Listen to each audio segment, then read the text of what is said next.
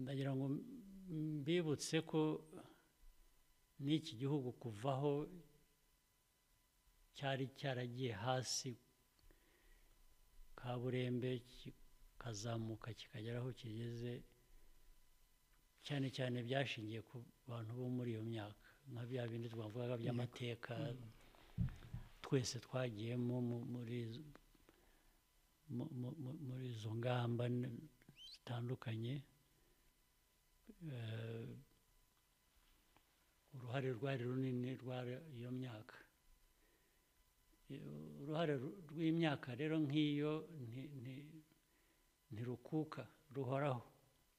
Abo ngabo urubyiruko rwacu iyo myaka bajye bibonamo ibisubizo by'igihugu aho kugira ngo bahinduke ibibazo by'igihugu. Eh, icyo ni ikintu bakwiye kuzirikana bakacyumva buri munsi. Eh, amahirwe yarabonetse abenshi bagiye mu mashuri bariga ba- abandi ndetse bari ku mirimo barakora barikorera abatari muri ibyo na byo badakora cyangwa batabonye ayo mahirwe ni inshingano yacu gushaka uko twabagezaho ayo mahirwe. Aho bari hose uko bateye kose kugira ngo aho kugira n'umwe usigara inyuma.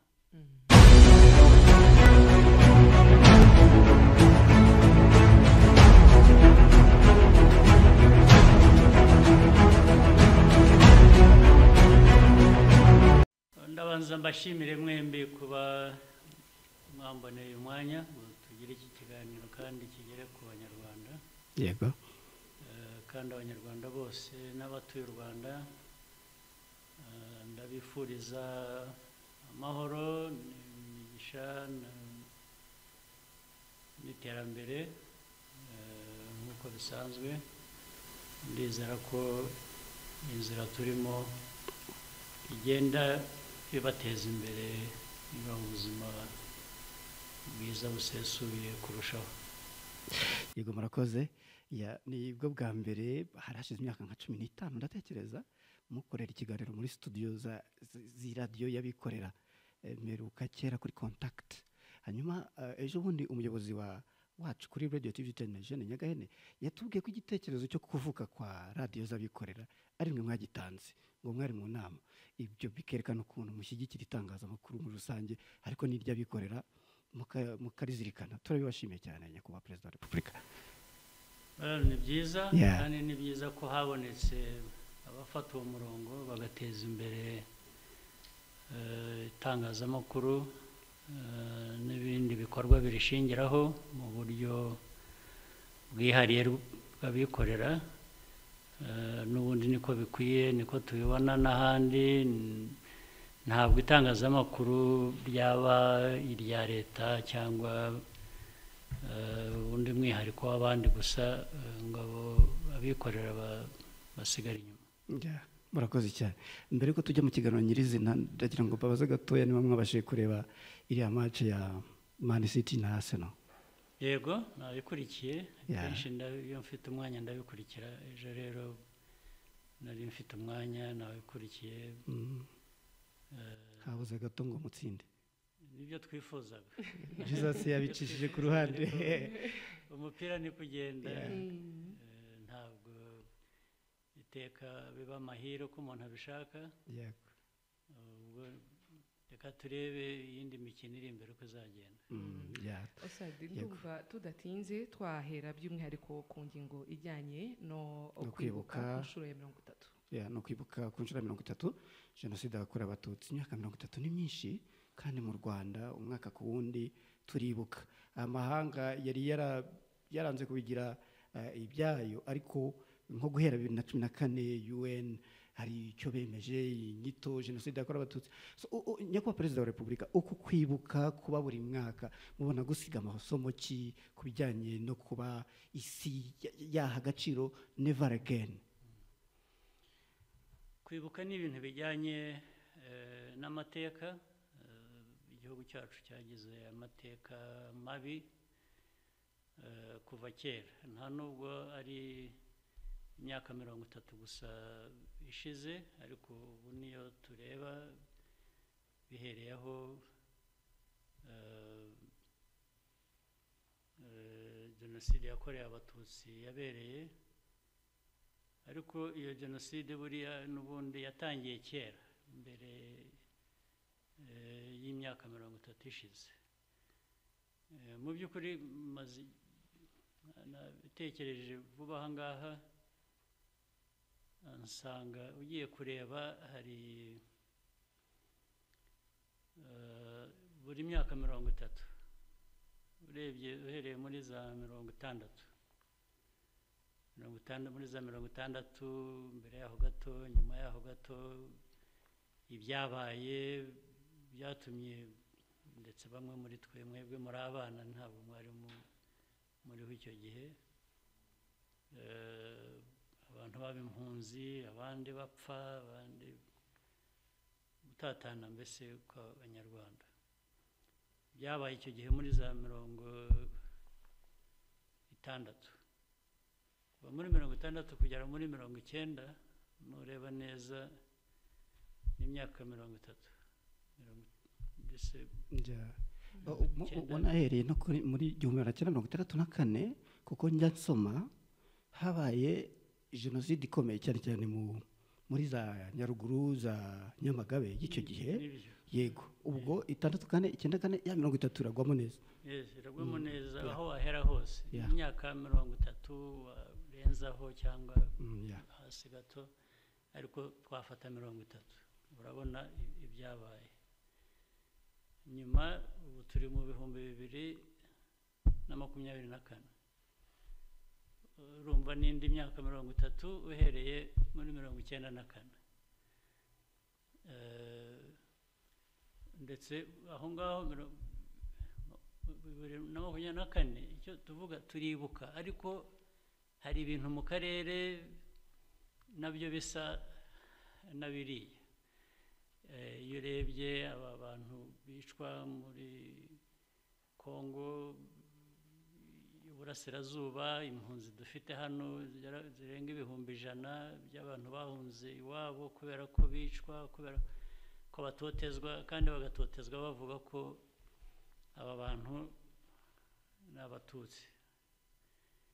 Iby'uko ari abatutsi cyangwa abanyarwanda bo muri kongo b'abanyekongo ntabwo ibyo bivugwa. Bisa nk'aho ndetse bikajyamo no gufatanya n'interahamwe. Interahamwe fdrr iri hariya muri kongo ya- y'uburasirazuba eh, n'abo bantu gupfa no kwirukanwa n'igihugu cyabo na leta yabo n'ibindi byo nyuma bije nyuma y'imyaka mirongo itatu nk'uko twahoze tubibara Ka- kandi urabona na- na- muri mirongo icyenda na kane abahunze ba- bamaze gukora genocide hano mu rwanda eh, niba abo ngabo nibo byahereyeho bafatanya na za leta zo muri congo n'ubu n'ubu iriya ni nka genocide ikaba ariho bakora.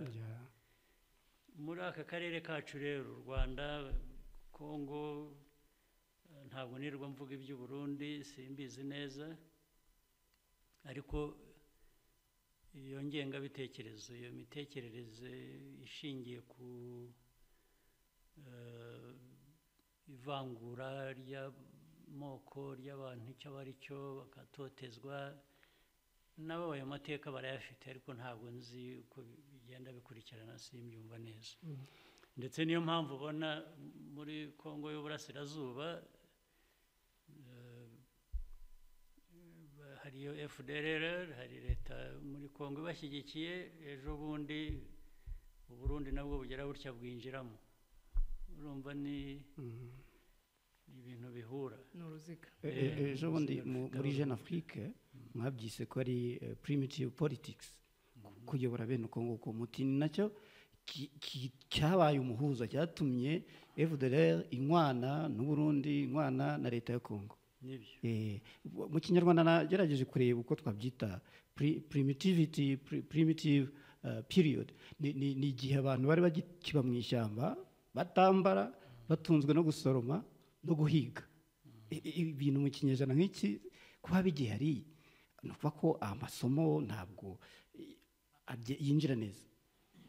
Agomba kuba atinjira neza kuko ariko ntabwo ku- kuri ibyo hari iby'umwihariko by'aka karere by'u rwanda by'abaturanyi n'ibindi. Ariko ushatse wabiganisha no hirya no mu bindi bihugu bitari n'ibya afurika gusa biragenda bikajya no mu mahanga yandi. Eh, biriya biriya by'irondakoko racism usanga ahantu hose na byo nabishyira aho ngaho nita ko ari intekerezo zitajyanye n'igihe za- z'abantu. Basa nkaho eh, ubwenge bwabo butigeze bukura nk'uko abantu bagenda bakura. Watoranya ute? Urumva rero nta- ntabwo primitivity ntabwo iri mu ba- mu bantu bakiri inyuma gusa nk'abanyafurika cyangwa nk'u rwanda navugaga cyangwa abagize ibyo bitekerezo n'abari hanze twita ngo bateye imbere. Iyo hari uhabonye racism ndetse politiki ikagendera kuri racism nabo ni nk'aho bakiri aho ngaho kandi ubundi wakwibeshya ukibwira ko bo bateye imbere mu myumvire muri politiki mu gukora ibyo ari byo byose mu buzima bwabo. Rero rwose kubyita ko ari primitivite niko mbibona kuko nta- nta- nta- nta- ntaho bifite bishingiye umuntu yahera avuga ati kuko ibi ni byo ni byo bikwiye kuba abantu bakoreraho.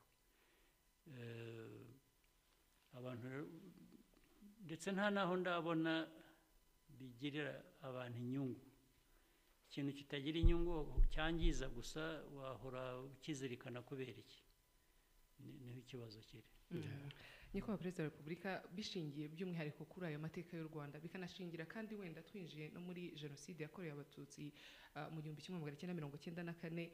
Eh, hari uburyo nyuma yayo buri muntu wese yibazaga avuga ngo abanyarwanda bazabana gute? Ariko haje kuza kubaho yuko abarokotse jenoside hari impano batanze by'umwihariko impano y'imbabazi.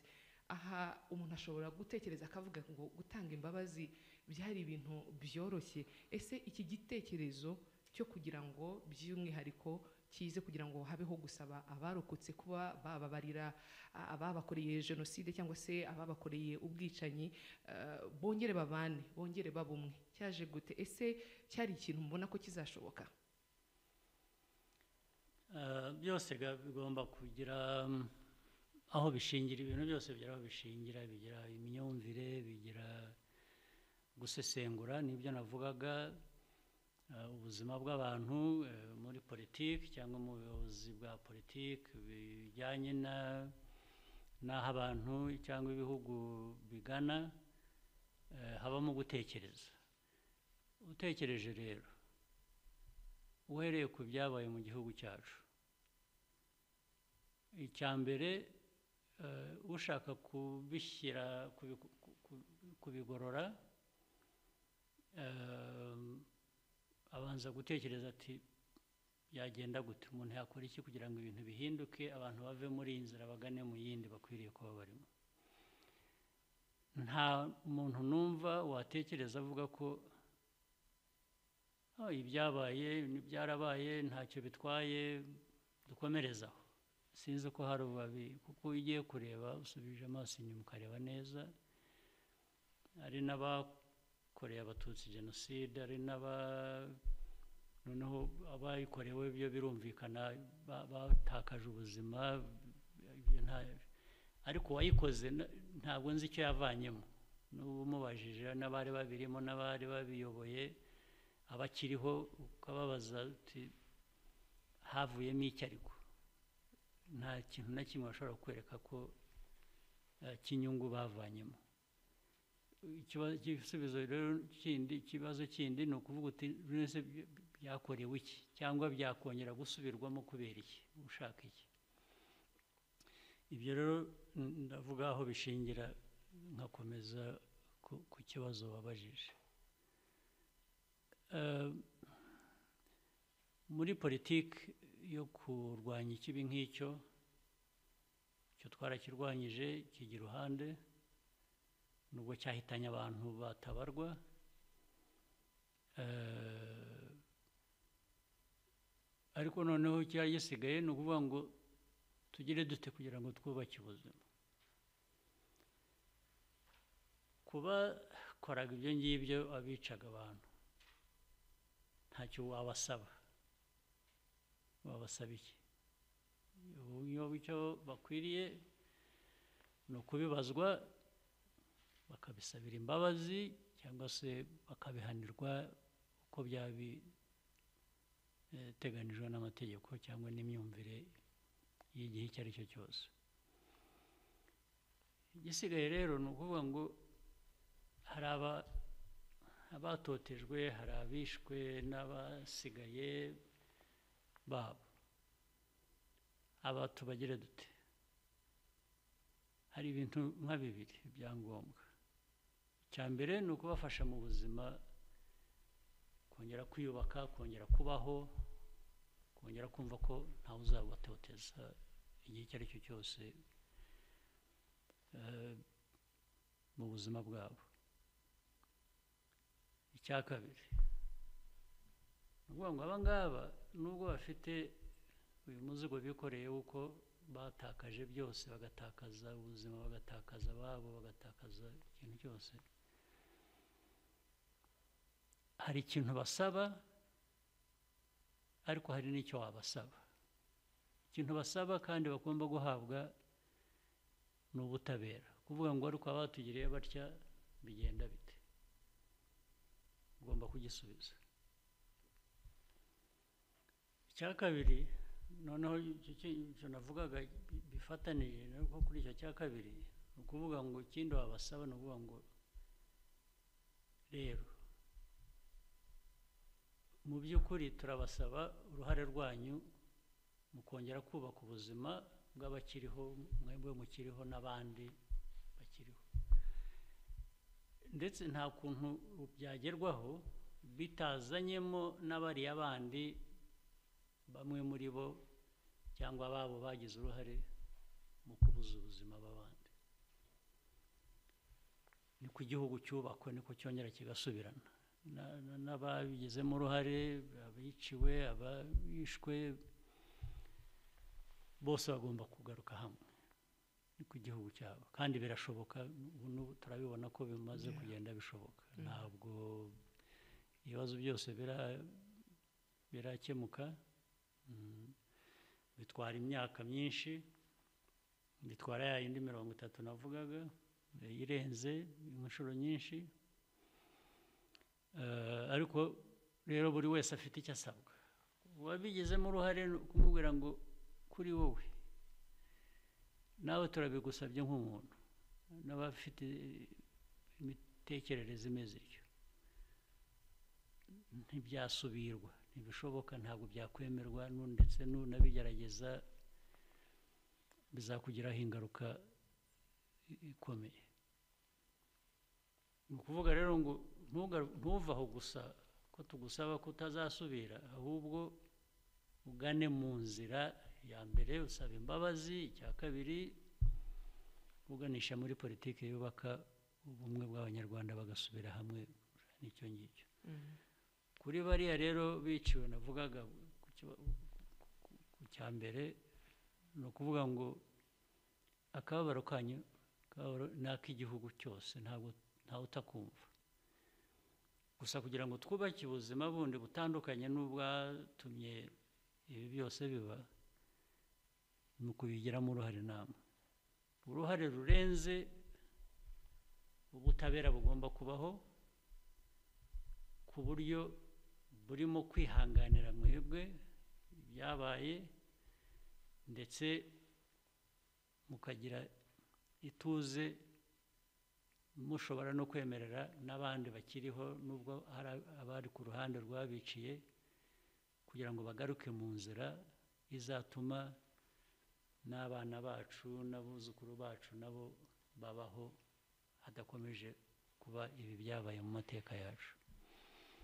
Ntabwo ari ibintu byoroshye rero ariko birashoboka. Mm. birashoboka eh, bishoboka kubera ko hagomba kubaho kutajenjeka.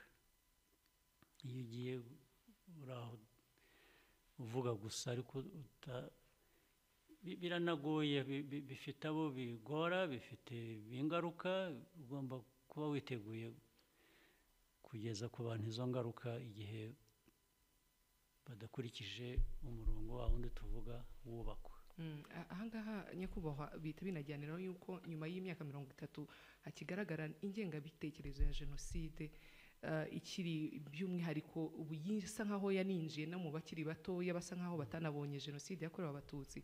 Ingengabitekerezo igakomeza kugaragara kandi hashize ya myaka mirongo itatu hari urugendo rwagezweho mu bumwe n'ubwiyunge ese ubutumwa by'umwihariko mwaha n'abakiri batoya ariko bakigaragaraho ingengabitekerezo ya jenoside nyamara mu by'ukuri batarigeze banayibona ahubwo ari uko wenda hari ibyo babwiwe n'abayikoze eh, bakabaha amateka atariyo y'igihugu ubwo bwaba ubuhe?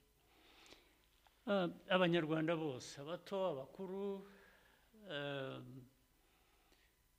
hagomba kubaho gusubiza amaso inyuma tukamenya aho tuva tukamenya aho turi tukanamenya n'aho dushaka kujya. Eh, n'abana rero bari batariho icyo gihe bari bataravuka ba- abantu be- benshi bavutse nyuma bagomba kugira icyo biga giturutse ku bari bariho icyo gihe cyangwa ibyo ariko ibyo byose ntabwo byakora bitashingiye ko ubundi ari umuto ari umukuru ashaka kuba iki? Ashaka kuba umunyarwanda. Urabanza ugashaka kwishyiramo icyo ushaka kuba cyangwa se ukwiriye kuba uri cyo abanyarwanda rero icyiza nabonye kandi gikwiye gukomeza gushyigikirwa no gutezwa imbere ni ugukunda igihugu cyawe ni ugukunda icyo bari cyo kuba u rwanda. Niba ukunda rero kuba abantu bakubaka u rwanda tugize turi rwo ugomba kugira icyo urwifuriza cyangwa se inkunga yawe utanga kugira ngo urube u rwanda rukubereye rubereye n'undi munyarwanda uwo ari we wese. Ikintu cya identity cyo kumenya aho uhera. Ntabwo identity ikwiriye kuba ikibazo ahubwo ikwiye kuba igisubizo. Hari ubwo identity nka bya bindi twavuze mbere eh, bitera ikibazo. Ariko rya identity mvuga ntabwo ari itera ikibazo. Identity ya mbere itera ikibazo ni ukuvuga ngo ndi iki? Waba wa- icyo ubaye icyo ari cyo cyose rero ugashaka ko utari nkawe eh, agira icyo abyishyurira. Ntabwo ari byo. Ariko ugomba kumenya icyo uri cyo. Ahubwo kikuzuzanya n'ikindi ari cyo. Kubera ko ibyo tuvuga ni u rwanda. Ni u rwanda rwa benshi. Ntabwo tuvuga umuryango wa kanaka cyangwa wa kanaka wundi eh, turavuga igihugu. Igihugu ni umuryango uhuriyemo abantu benshi ndetse n'abatari abanyarwanda. Ntabwo rero wagenda utoranya umuntu eh, kubera icyo ari cyo cyangwa identity ye. Ariko identity ye ashingiraho kandi akwiriye kuba yibonamo ayizana hamwe n'izindi identity z'abandi yego. bigahura bikubaka. Si icyo nasaba rero abanyarwanda kandi mbona kiri mu nzira bakwiriye gukomeza ndetse bagateza imbere eh, ni ukuba abanyarwanda kumva ko ari bo hanyuma ariko bitababujije kubana n'abandi neza cyangwa kububaha nk'uko nabo bakwiriye kububaha. Eh, ndabivuga ngira ngo nerekane n'ukuntu bikwiriye kuba bimeze Um, hari abantu nk'abanyarwanda bamwe twagiye tubona nabo bakeya ugenda akajya hanze akabayo ka- uko yagiyeyo uko ariko kose ibyo na byo bifite uko biba bimeze bitandukanye. Yageraho akigira uwahariye. Mm, ndetse yagaruka mu rwanda akarwigiramo nk'uwahariye handi ahavuye. Byerekana ko atakiri umunyarwanda. Ubwo ni ukuvuga ngo wazanye indi mico wavanye ahandi urashaka kuyikoresha guhindura icyo wari uri cyo cyangwa icyo abandi bemera bari cyo ntabwo ari byo rero. Abanyarwanda babanze bemera icyo ari cyo. Kandi bakigire kizima. Kukigira kizima ni ukubana ni ukwemera ko mu mitandukanire yacu nk'abanyarwanda twabana neza nk'abanyarwanda icyo kiraduhuza.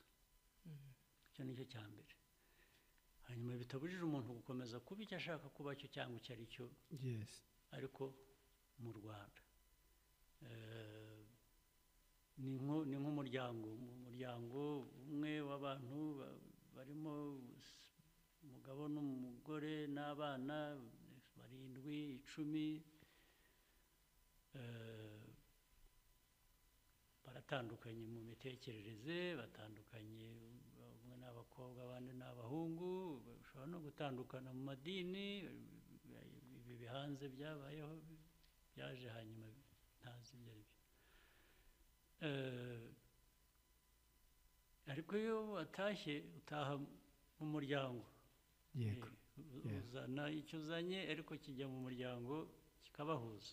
Kandi muturutse ahatandukanye muturutse mu- mwavuye mu bushinwa undi avuye mu- muri amerika undi avuye mu rusiya muri europe ibyo uzanye mu mutwe wawe urabizanye ugeze iwanyu mu rugo mu- muje mutandukanye bigenda biti ntabwo murwana.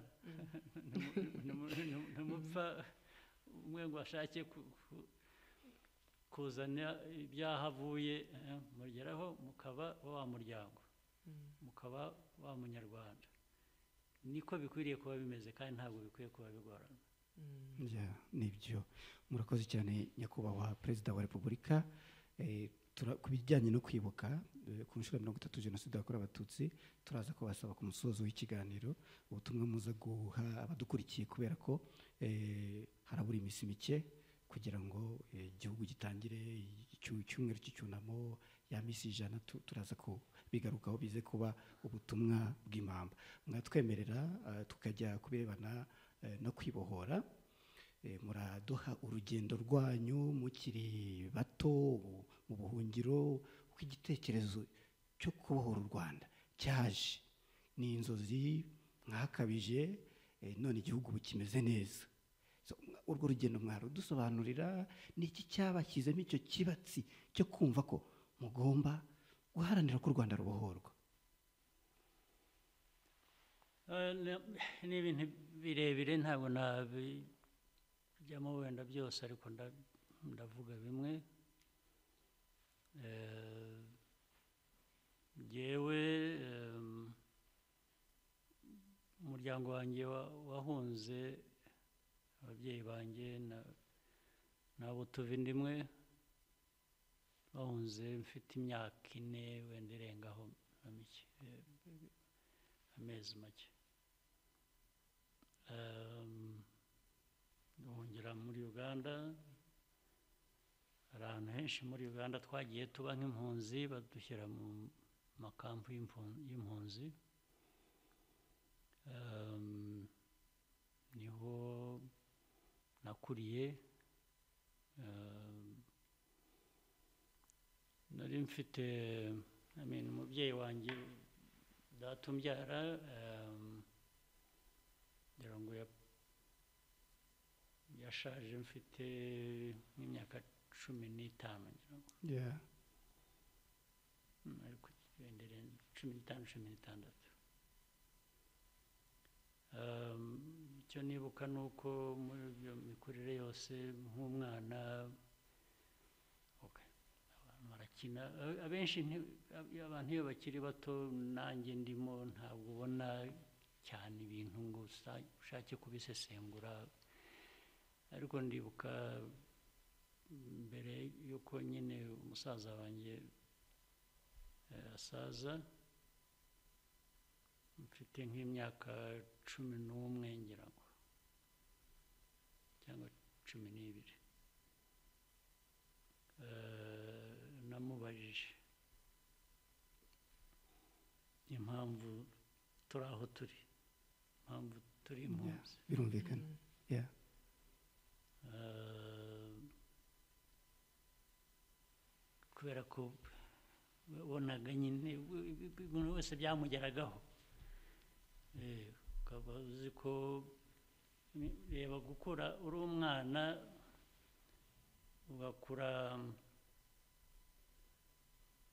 ufite imyaka cumi cyangwa yabirenzeho ubundi umwana i- iyo ashonje asaba nyina cyangwa se cyangwa undi amubwira ko ashonje ibyo kurya bikaboneka. Mu buryo bw'impunzi eh, nabonaga bakuru banjye abavutse mbere ndi umuherwe mu mu muryango wacu. Umuhererezi umuhererezi eh, ndi bucura. Eh, nkabona bankuriye bajya gutora umurongo ba- bategereje abaza kubaha ip- iposha bari butahane ngo twese tubisangire. Yego. Eh, ubu ni ubuzima. Ibyo umuntu yabibona rero nkiri nk'umwana nk'imyaka cumi n'ibiri baza n'iki impamvu turi hano. Kandi najyaga numva abantu bakuru bari aho bavuga kera wenda ntaranavuka nyine cyangwa iki hari n'amafoto nabonaga bari bafite ndi uruhinja bampagatiye bamvana mu eh, bitaro aho babaga babyariye abantu. Mm, bikanyereka ishusho rivuga ko mu by'ukuri kandi byaravugwaga birazwi. Eh, umuryango wanjye ntiwari umeze nabi ntiwari ukennye wari umeze neza ku- rwego rw'abanyarwanda uko bari bari icyo gihe bameze Um- neza. umuryango ukiri mu gihugu. Ukiri mu gihugu. Hagati y'ibyo n'ubuhunzi ngira ngo ni ho hajemo ibyo numvaga ibyo nabonaga amafoto n'iki nkavuga ariko se kuki turi aha? Umubyeyi wanjye ambwira amateka. Mfite imyaka cumi n'umwe yego. Mm. Eh, bitega amatwi ubwo ariko nyine nk'umwana warangiza ukava ukajya gukinira umupira ukajya unashonje nta nta n'icyo bitwaye. Eh, ariko uko yabinsobanuriye anyereka ko nta cyaha ari we ari umuryango wigeze nta cyaha bakoze kugira ngo tube dutyo. Ahubwo hari ayo mateka na politiki irimo n'icyo arabisobanura icyo gihe sinabyumvaga bihagije. Hanyuma ariko uko nagiye nkura rero iyo image iyo shusho iguma mu mutwe mbitekereza. Wenda ngira nk'imyaka makumyabiri. Iyo shusho yagumye mu mutwe y'ukuntu dushobora kuba igihugu cyari tukiri mu gihugu twari tumeze ubwo ni kwa bandi ubwo ni kuri mvuga nk'ababitekerezaga ariko n'abandi nabonaga twari kumwe aho ngaho nibwiraga ko nyine bigomba kuba ari uko bari bameze bari bameze neza baba bari bari bafite ibintu bihagije cyangwa baba bari batari bifite ariko bari batekanye bari iwabo bari bari mu gihugu cyabo. Bari mu gihugu cyabo. So aho rero ni ho hagumye ha- ni ho hakomeje kuvamo eh, uko gutekereza ko kuvuga ko mbese bisa n'ibikangura umuntu ndetse binamutera kubaza ko kwa kundi mubyita kuribwaribwa ukibaza impamvu ari uko byaba ari we byabaho kubera iki? Cyangwa uwabikugira afite eh, uburenganzira ki bwo kubigukora? Aho rero ni ho haguye havamo eh, kugenda tujya mu bintu bitandukanye. Ndetse nabonye n'umwanya nakoraga nkura naje no mu rwanda ndi mutoya. Ya, tujya tubyumva. Ngira ngo naje mirongo irindwi na karindwi bwa mbere mirongo irindwi na karindwi n'umunani n'icyenda itangira. U- ubwo ni gatatu? Ni gatatu. Naje gatatu. Eh. nayaga nza nkaza. Hariya uyu mujyi wose ndawuzi buriya rero. Ha- hari ahantu banyeretse hariya nyamirambo ndahazi za yeah. nyamirambo ku muhimaha ku kiyovu kiyovu nda- ndayizi cyane buriya Eh, hanyuma nkajyaza n'uriya muhanda uzamuka ujya mu mujyi ujya mu mujyi uvuye sopetrade sopetrade Sopetrade. sopetrade Eh, peyaje. hariya hose uko hazamuka kazamuka Eh, peyaje na yo kuri rompwa Mm. yego mpagenda n'amaguru Mm. jyenyine Mm. Ahandi hose ndahazi hanyuma najyaga mfata mfatira taxi Mm. ku- muhima njya nkajya i butare Mm. butare nari mfiteyo um, um, Eh, ni ni Masenge. nyogosenge nyogosenge ni nka- ni- ni ba- ba- mama n'uwo najyaga gusura base bavindimwe Mm. Eh, Mm, sinzi ubwo bu- base bavindimwe Eh, A- a- abari se, nka se, se wa mama na se ubona yagusura Mm, bo na- aba ari abavandimwe ukuvuga ngo bari nka nyina mu wabo. kinyarwanda babyita ngo nyina wabo ariko Mm. mm, yes. Ubwo ni- Mu- mu cyongereza n'igifaransa ni ho byoroha. Mm. eh, yego. Eh, ubwo ni umwamikazi rosalia gicanda? Yego Mm. yego.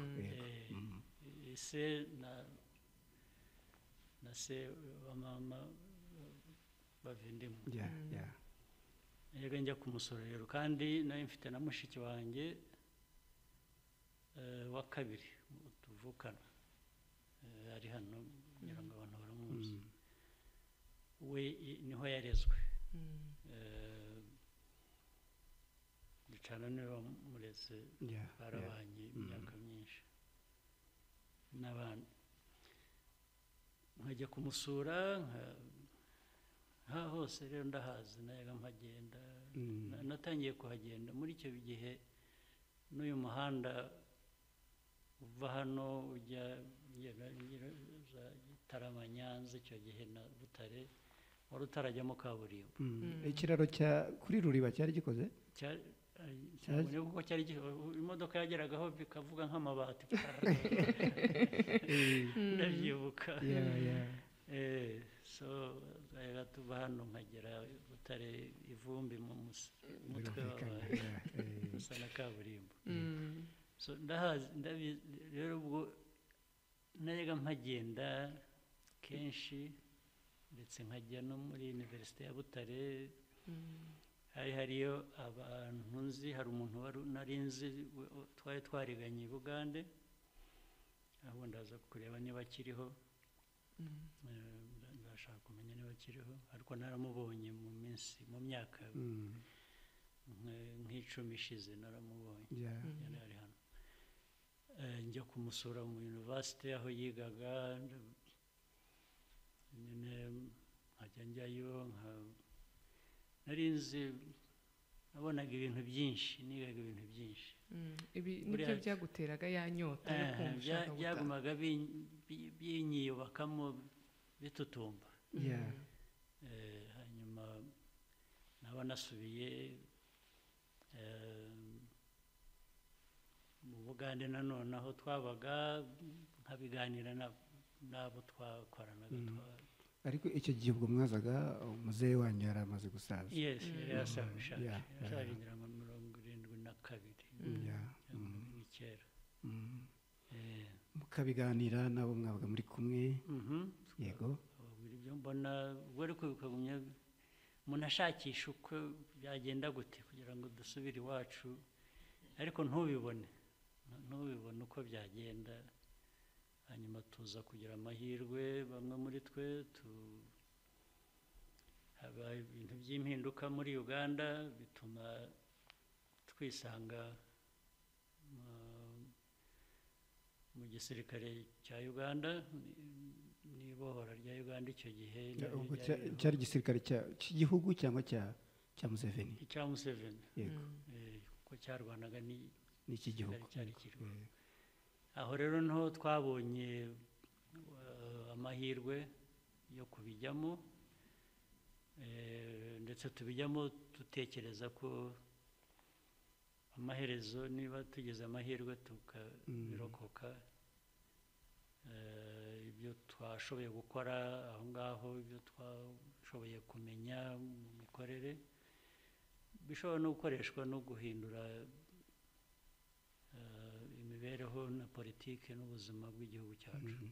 A- Aisa ura- urabizi ko his excellence yari muri ba bandi makumyabiri na barindwi batangije urugamba rwo kubohora uganda.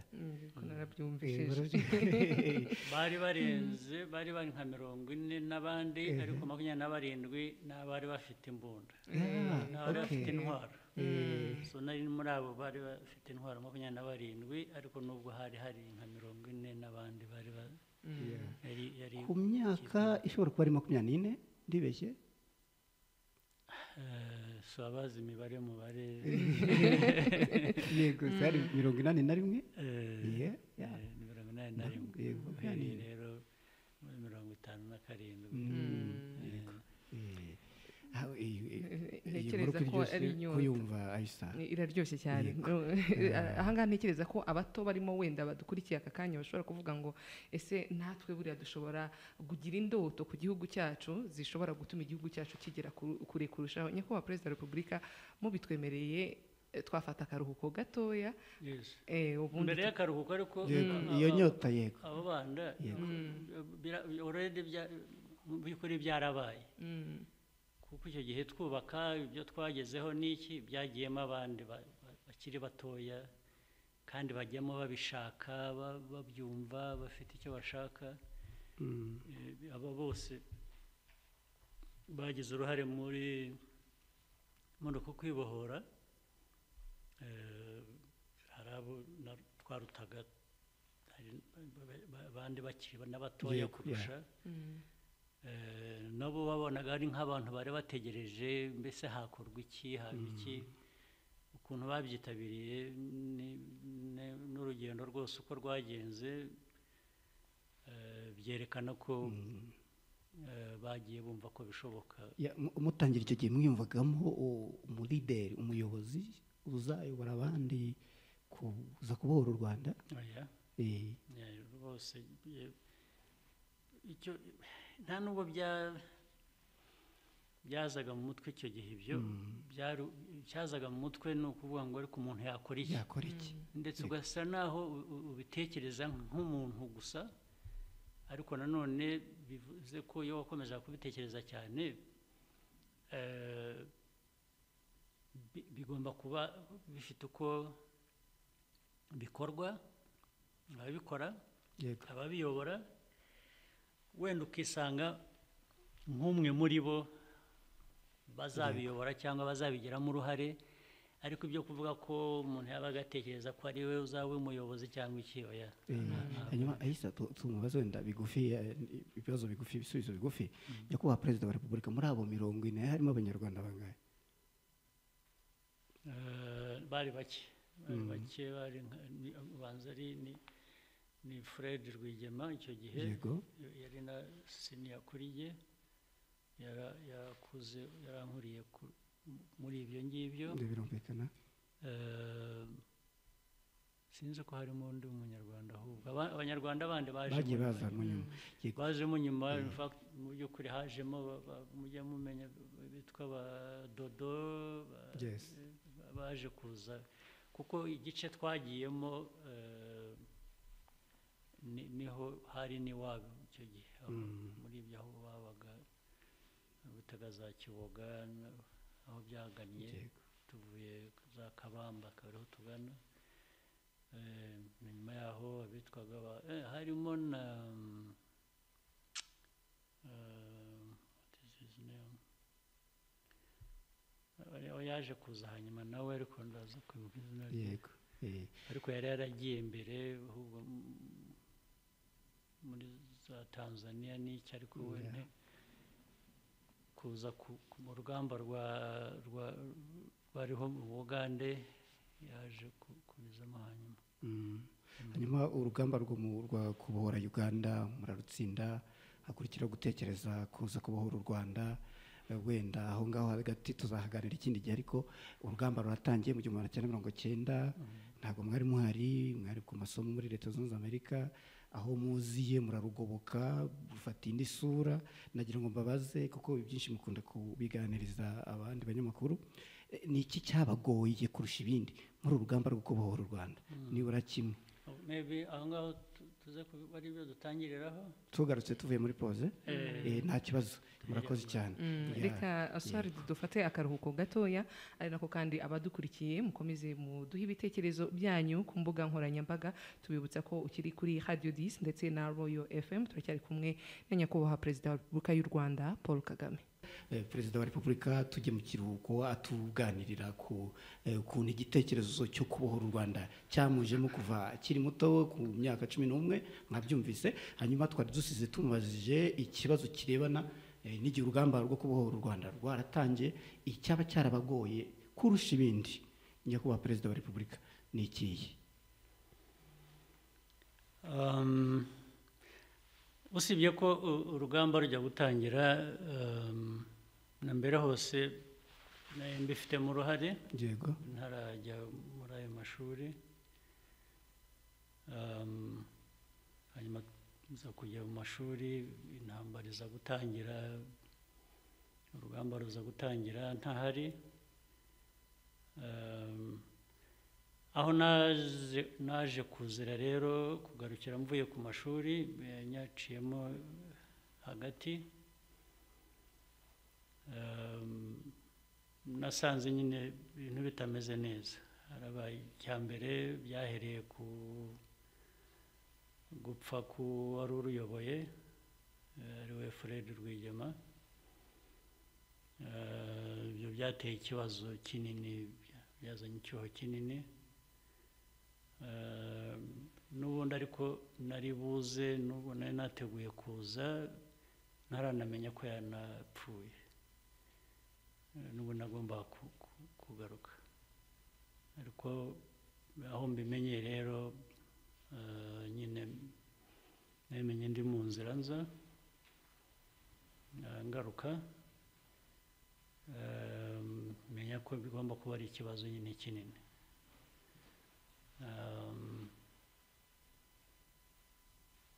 Mpageze nsanga kuko by- byagize ingaruka nsanga urugamba abantu bari baruriho n'abari baruyoboye bandi ubona baracitse intege ndetse abandi baratatanye ndetse icyo gihe bitanga n'icyuho um, abo twari duhanganye nabo banyuzemo ba- kuko baje kubimenya ko eh, byabaye nubwo byari byabanje guhishwa abantu barabihisha ariko byaramenyekanye. Eh, ikibazo kinini rero cyari kongera gushyira abantu hamwe kongera kubashyiramo um, ubushake n'ubushobozi bwo guhangana n'ikibazo twagomba guhangana na cyo. Eh, kandi mu by'ukuri n'ibyo byabaye ibyangombwa abantu bari ba- ba- ba- bashakaga kuba bafite byose bitahari bya kubaka bundi bushya kandi mu gihe gikomeye Eh, ni- nicyo- nicyo- ni ho ikibazo cyabereye rero kinini cyane ndetse abasirikare bamwe ba- barahunze barasubiye buganda Eh, ko ni ho hari hafi hari umupaka wari uri inyuma yacu icyo gihe hariya za kagitumba n'ahandi. Um, kongera byabaye nko gutangira bundi bushya ariko gutangira bundi bushya binakomeye kurusha gutangira kwa mbere kuko gutangira kwa mbere abantu bari hamwe bafite ubushake ba- bafite ni- n'icyo bumva bagiye gukora. Um, icyo ni cyo cya- cyagoranye ariko aho bimariye kugenda bihinduka buhoro. Ntabwo nirwo njya mu muri byinshi aho ngaho hari byinshi byagombye gukorwa ibyo twazabiganira ubundi cyangwa bizajya mu mateka yan- yanditswe abantu babisome. Um, aho ni- ni cyo cyari kigoye cyane. Ibindi Yeah. gukomeza rero ku- kugira ngo abantu batere imbere basubire hamwe noneho ba- bahangane n'urugamba bongere bazamuke batere imbere. Habaye byinshi cyane bigoranye Ku- ku- kuza guhagarika jenoside. Kuko hari hashize umwaka um, byitwa ko hari kuganira arusha amasezerano arusha sinywe jenoside iratangira ku itariki zirindwi igihumbi kimwe mirongo icyenda na kane. Ingabo ntekereza ko byo wenda kurwana ku- cyangwa se kwitoza sinzi wasanga mwari mwarabiparitse. Byaraboroheye gutabara guhagarika jenoside. Nta kintu cyigeze cyoroha ku rugamba na busa nta na kimwe. Eh, bya mbere navuze byari mu itangira ry'urugamba hanyuma hari n'ibyo n'urugamba noneho rwo guhagarika jenoside. Ariko ibyo byaje urumva n'imyaka hafi ine eh, abantu bara- twariyubatse bya mbere byo muri mirongo icyenda dusa n'ababirenze tuguma twiyubaka twubaka ubushobozi tubona ingabo umubare wiyongera. Abanyarwanda hirya no hino aho ariho hose rwose eh, batanga umusanzu. Umusanzu batangaga umusanzu w'ubwoko bubiri ukomeye cyane. Icya mbere ba- baritabiraga urugamba. Abana barazaga bavuye hirya no hino muri za zayire icyo gihe yaba burundi yaba tanzania eh, aba- benshi baturutse muri uganda ariko hari n'abaturukaga aho handi noneho bakanyura muri uganda bakaza. Ariko n'abaturukaga hanze hirya bakiri bato ba- bavuye hanze handi. Ariko cyane cyane ibyo ni rimwe ku bantu ibyangombwa abantu ubwabo ikindi cyangombwa ni umusanzu batangaga abanyarwanda bose barabihagurukiye yaba umusaza yaba umukecuru yaba yatangaga bike bafite bakabyohereza ku rugamba bigatuma tubona ibyo twashoboraga kubona byo kurwanisha urugamba kandi byabaga buri gihe byabaga bara- barafashije rwose. Intambara yabaye iy'abanyarwanda mbese ariko mu gihugu bamwe twakoranaga eh, ndetse bari bazi n'ikibazo kurusha kubera ko bari bakirimo baratotejwe barakandamijwe n'ababaga hanze nabo batari bameze neza eh, mu- buzima bwabo muri politiki ya- y'aho ba- bari hirya no hino. Gu- kubishyira hamwe rero bya ku gihe cya cyo guhagarika jenoside byo rero ntabwo byari byoroshye na gato ariko nibura twari dufite aho duhera. Uribuka imishyikirano ya Arusha yarabaye ndetse bigeze ndibuka muri mirongo icyenda na gatatu mu kwezi kwa kabiri ndibuka itariki umunani. Eh, habaye byasaga naho bimaze- byari bimaze igihe icyo gihe muri- mirongo icyenda na gatatu. Yari imaze igihe abantu bajya mu nama bisa nkaho ndetse bashaka kumvikana bikagira bitya ariko muri muri muri mirongo icyenda na gatatu muri uko kwezi kwa kabiri habaye kwicwa kw'abantu mu- bigogwe. No muri kibirira? Cyane cyane muri za kibirira. Ibyo rero ni byo byahagaritse eh, imishyikirano yarusha ndetse icyo gihe tubabwira ko n'ubundi twari turi aho dushaka kumvikana. Kumvikana kwa mbere no guhagarika kwicwa kw'abantu ndetse no guhagarika urugamba tugashaka uko ibibazo bishakirwa umuti wa politiki. Ariko ko bo babivuyemo batangiye kwica abantu nk'uko twa na mbere hose byateraga intambara. Eh, nyakubahwa perezida wa repubulika mutumye mbabaza iki kibazo. Kuri urwo rugamba rwo ku ya munani z'ukwa kabiri igihumbi magana cyenda mirongo icyenda na gatatu ingabo zanyu zakubye wenda imibare murayitwibwirira nk'inshuro enye eshanu aho mwagenzuraga. Abasirikare banyu ba mbere bageze hariya i rurindo kuri paruwasi. Ariko nyuma musubira inyuma. Ku buryo uwayoboraga inyeshyamba zo muri angola witwa jonas savimbi kuri bbc yabasetse Yaba- yaravuze ati nabera mbonye inyeshyamba zi- zitareba kure. Ahantu barahafashe none ba- baraharekuye basubiye mu birindiro by'imbere yaho. Icyo kintu sinzi niba mwari mwakivugaho mwa- mwakitubwira nyakubahwa perezida wa repubulika. Uko byagenze icyo gihe i- i- urwo rugamba rwa mbere yaho mbere y'urwo rugamba tujya mu mashyikirano. Twabonye icyo gihe twagize umwanya nta ntambara iriho. Hari ceasefire.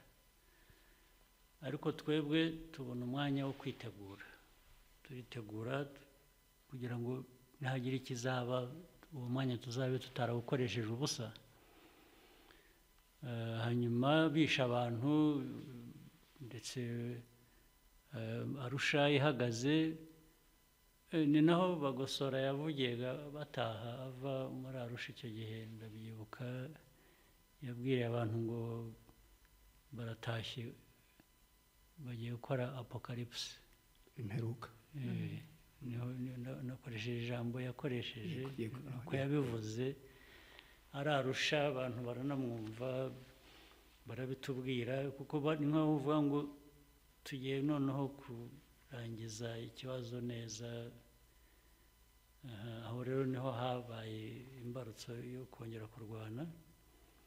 Kandi koko icyo gihe twararwanye nk'uko wabivugaga dufata ahantu hanini cyane Eh, dufata n'abasirikare ba leta benshi twica benshi Em, ariko biturutse ku- muri iriya kiriya gihe cya sizifaya twagikoresheje neza kwitegura.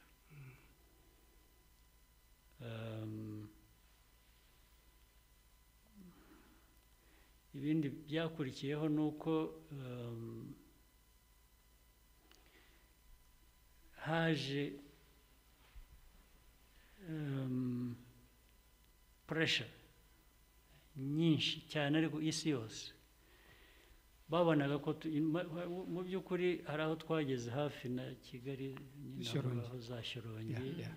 Eh, abantu babona ko byarangiye noneho ngira ngo haba paniki isi yose na UN n'iki ubonaga ari nko kuba twafata kigali ni ibintu byari bibatunguye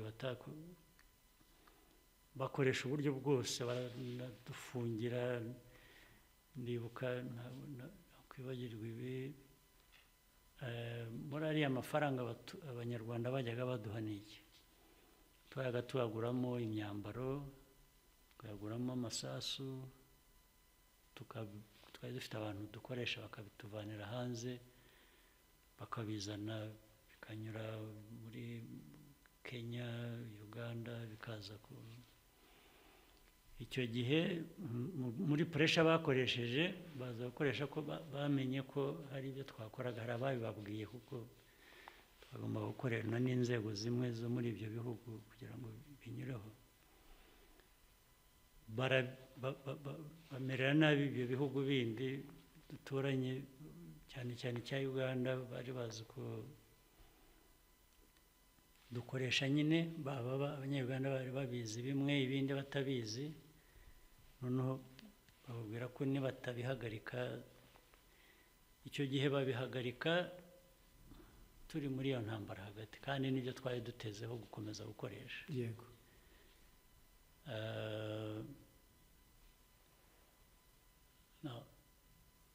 Twa- isi yose yahagurutse rero imeze ityo. Ugomba kumenya uko utekereza n'uko ugenda kandi ngira ngo ntabwo nsubiza amaso inyuma ngo nsange ko ibyo twakoze bitari bikwiye gukorwa. Mm. Eh, twashobora gukomeza wenda dufite n'izo ntwaro tugafata n'umujyana ariko gute cyangwa hakavamo iki ukakigenza ute? Bya- byareba kutubereye. Ikibazo ndetse bigatuma abantu batanumva n'icyo twarwaniraga bigatakara noneho ba- bakaba ari twe babona ko ari twe kibazo ikibazo ntikibe abo turwana nabo kandi byari bimaze kumvikana. Um, bituma rero tu icyo gihe twahagaritse twahagaritse gukomeza kuza imbere. Eh, hari igice kinini twari twafashe ndetse eh, muri izo puresha haza kuzamo ko tugomba gusubira inyuma uko byari bimeze mbere y'itariki umunani z'ukwa kabiri mirongo icyenda na gatatu w'intambara tubigira impaka nyinshi ariko noneho tuza kugera ku kintu kimwe eh, ndetse muri rpf n'abandi twakoranaga bashyigikiye nabo nta- ntabwo bumvaga impamvu dukwiye kuba twasubira inyuma ariko noneho havuyemo kondishoni natwe twatanze ntabwo niba tugiye gusubira inyuma ntabwo aha twavanye aba bose ntabwo nabo bari buhasubire ingabo za leta ntabwo za zemerewe leta na- ntabwo zi- ntizisubiramo niba tunahavuye haraguma ariko niba bazahasubira ntabwo tubyemera ibyo gusubira inyuma. Tura- turakomeza imirwano. Baza kugera aho bemera ko eh, aho hatagomba gusubirwa n'ingabo za leta. Ni naho haje kuvamo iriya babitaga zone tambo. Yego eh, ni ho natangiye kwigira igifaransa. Eh, zone tampo. yego zone tampo eh,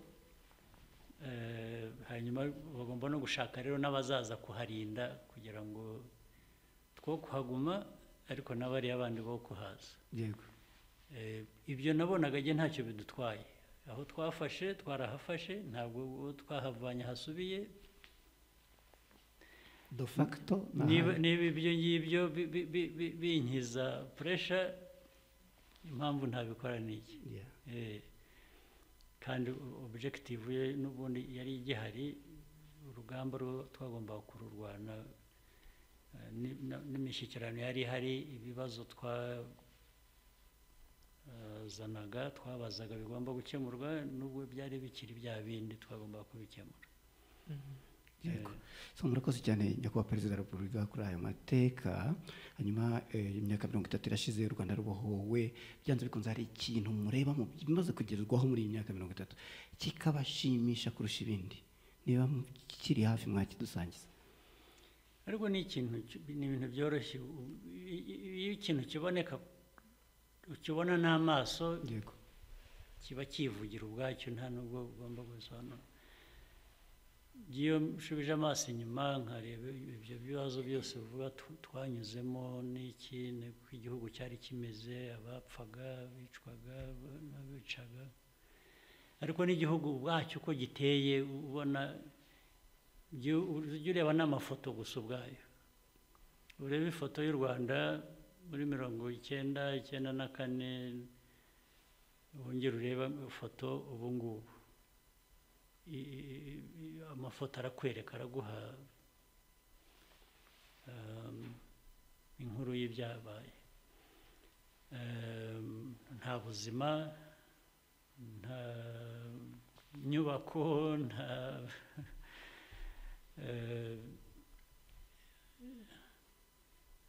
aba- aba- abantu aba- barabanye nta utotezwa nta ugenda ku muhanda ngo abazwe ngo wowe uturuka he? So ninde? Uri mu buhe- buhe bwoko? Ntawe ujya kujya mu ishuri ngo bamubaze aho avuka ntawe ujya ku kazi ngo bamubaze.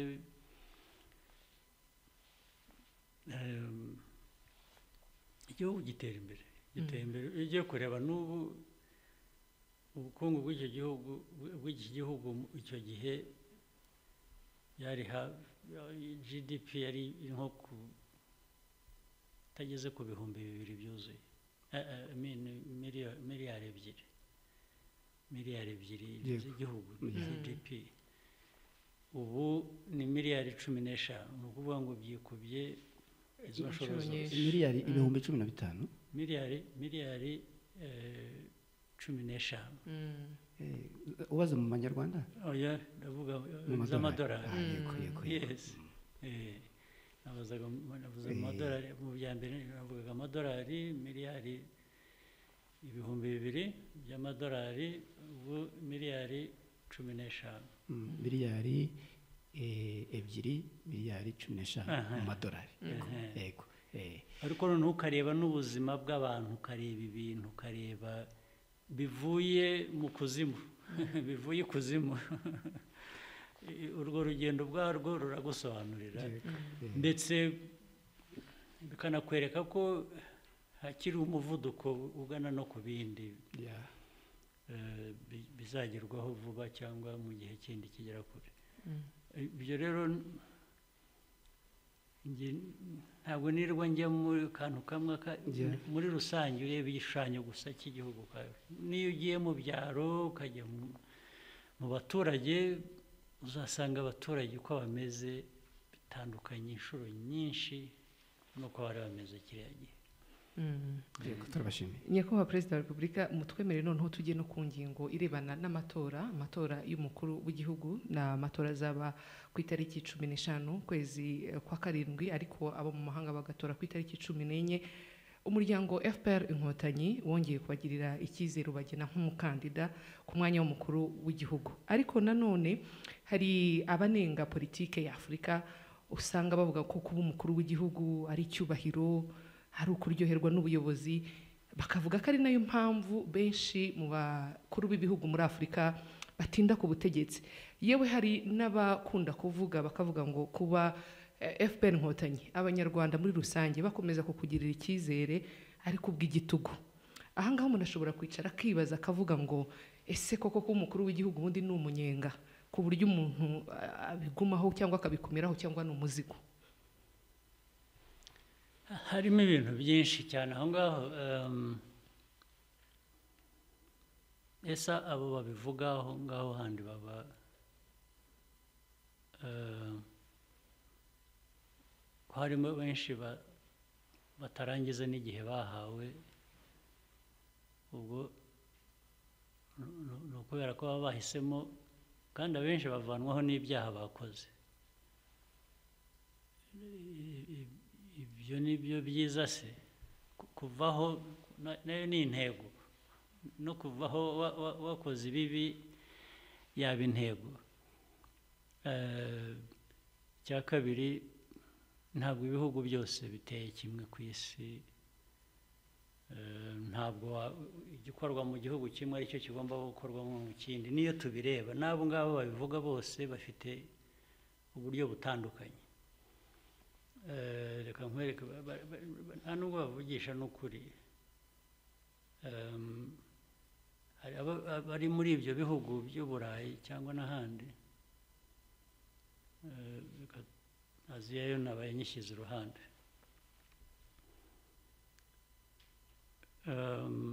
mu by'ukuri bamaraho igihe kinini. Tuvuge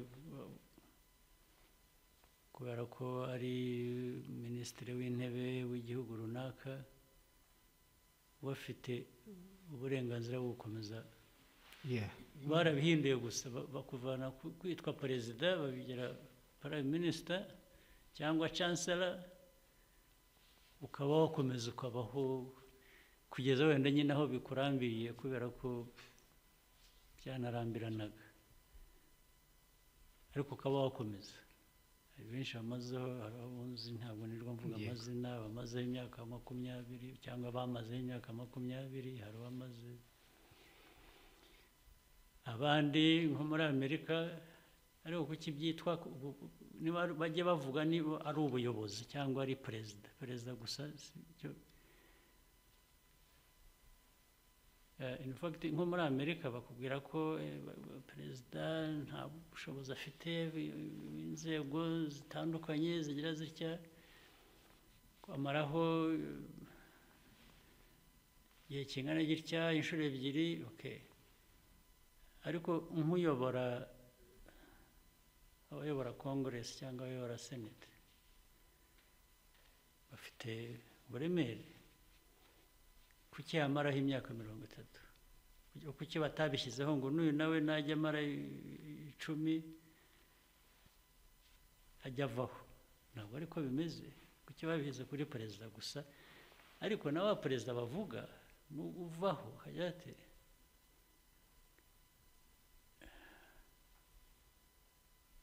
niba banamurekaga akavanwaho n'uburyo bw'ayo matora ni iki?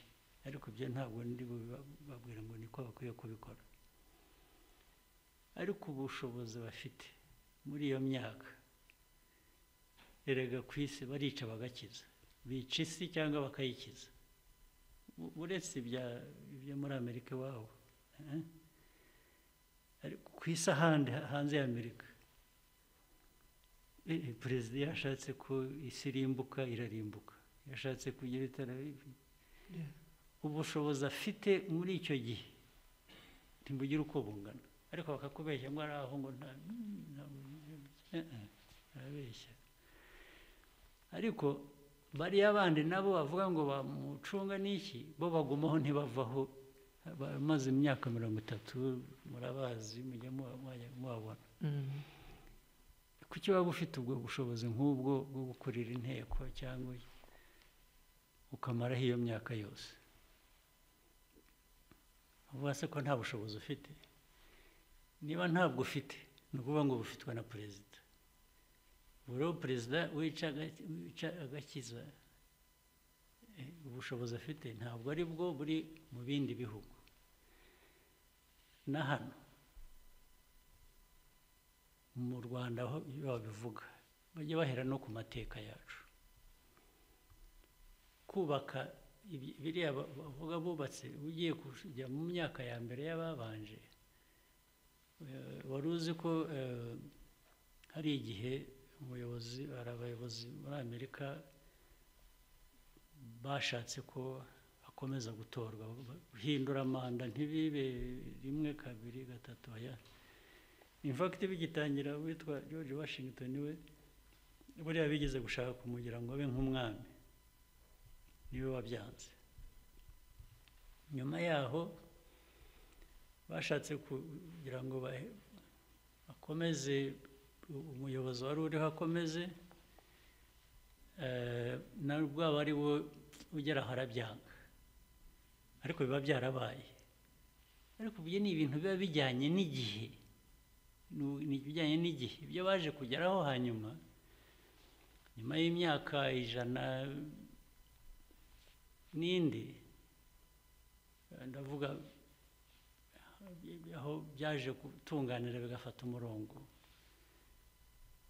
Barashaka ngo abe ari byo abanyafurika bakora. Banirengagije imiterere y'igihugu kimwe cyangwa ikindi muri afurika cyangwa afurika muri rusange. Ariko ibyo sinzi n'impamvu ari cyo kibazo gikwiye kuba kirebwa gusa. Umuyobozi yaba yatinda yaba yavaho vuba. Ahubwo icyo bakwiye kuba bigisha ni ukuvuga ngo ariko umuyobozi yaba amazeho umwaka umwe muri itanu cyangwa amaze itanu mu icumi agomba gukora iyo akoze ikibi bigenda bite? Akwiriye kuba yanavaho. Iyo ari cyo bavugaga. Kuko muri afurika politiki aho ibera n'abanyafurika ubwabo abantu baka- bakajijwa ntibabibone neza icyo bababwira. Umu- ab- aba- umuyobozi ashobora gukora nabi. Akagirira nabi ku mugaragaro akijya no ku butegetsi. Ntabwo ari ngombwa ko hagomba gutegerezwa imyaka itanu cyangwa icumi. Akwiye kubibazwa. Mm. icyo gihe. Abantu ba- niyo mpamvu ubona muri ibi bihe hariho eh, ikuraho rya leta ingabo zikuraho leta nko muri mu burengerazuba bwa afurika. Abantu rero bara- barasimbuka bakavuga "Eh, kudeta kudeta bakavuza induru. Kudeta ifite aho ikomoka kuki atariho mu- mu- muvuga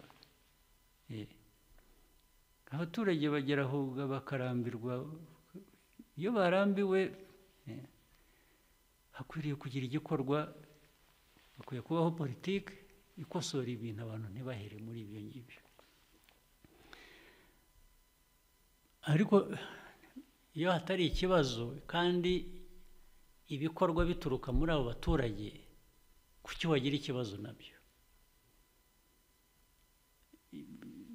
ndabivuga nshaka no gusobanura ku buryo bubiri hari icyo ngicyo ariko no ku kindi nshaka gusobanura njye ntabwo ariyo mpamvu bananturanye nkemera nkakomeza nanjye ubundi bitari ikibazo mbona gihari nk'umuntu kuvuga ngo ariko hari- hari- na- ndabonaga nanjye mfite amaso iyo biza kuba ari ikibazo cyo guhitamo. Hari kandi hari hari- n'ubushobozi butuma ibintu bishobora kugenda neza kuko bigaragara ariko banabibona mba naragiye kera rwose ku buryo nta iki se, nta nta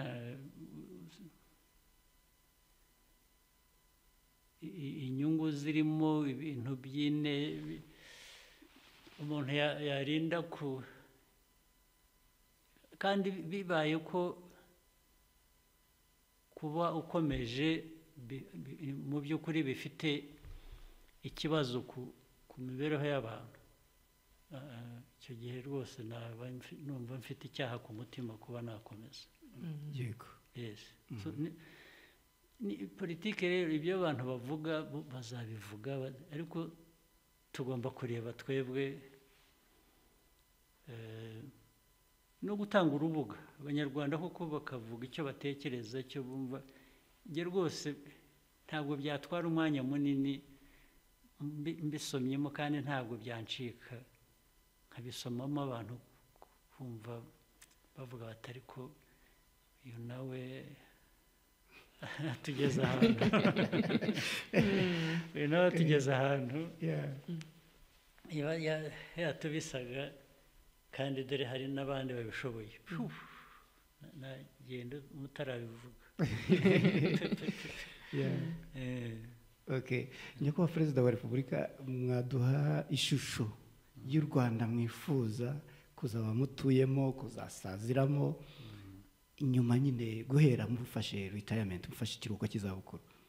Eh, ni u rwanda rw'abanyarwanda babanye. ba- ba- ba- hagati yabo niba bafite n'ibibazo ni ibibazo byaba bisanzwe bisa nk'iby'ahandi.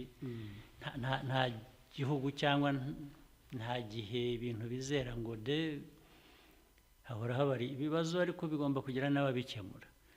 Ariko muri rusange uvuga uti igihugu kiratekanye ki- gifite n'abakiyobora nyine n'inzego zikemura biba bivutse nk'ibibazo.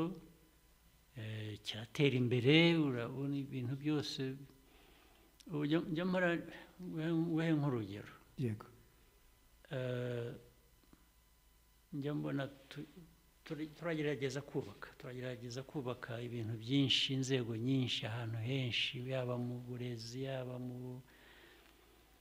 mu bijyanye n'ubuzima yaba ari mu bikorwa remezo ahantu hose. Ariko hari icyo njya mbona rimwe na rimwe njya mbona nka muri bageti nko mu bageti y'ubuzima. Ariko nkanabona na- na- na- n'ibintu nkabona abantu basabwa koherezwa hanze kujya kwivuza. Bajya mu buhinde bajya mu bubirigi bajya muri turukiya bajya kwi- kwivurizayo rimwe nkareba nkabaza n'aba abakozi aba- abo dufatanyije kuyobora nkababaza ariko uyu muntu kuba ajya kwivuza n'uyu agiye kwivuza iki n'uyu agiye kwivuza turishyuye twagira dute kugira ngo aba bantu babone izo serivisi hano umuntu aza- azagomba ku eh, buri gihe ikintu cya mbere utekereza iyo witsamuye iyo ugeze uti abandi bajya muri kenya abandi bajya muri south africa. Eh, nditsamuye mfite ibibazo ndashaka kujya kuvuzwa mu buhinde. Uko kwitsamura kuki tutakuvura hano? Kuki tutaha abantu izo serivisi ngo tubikorere hano. Birandya rwose igihe buri gihe buri gihe. Eh,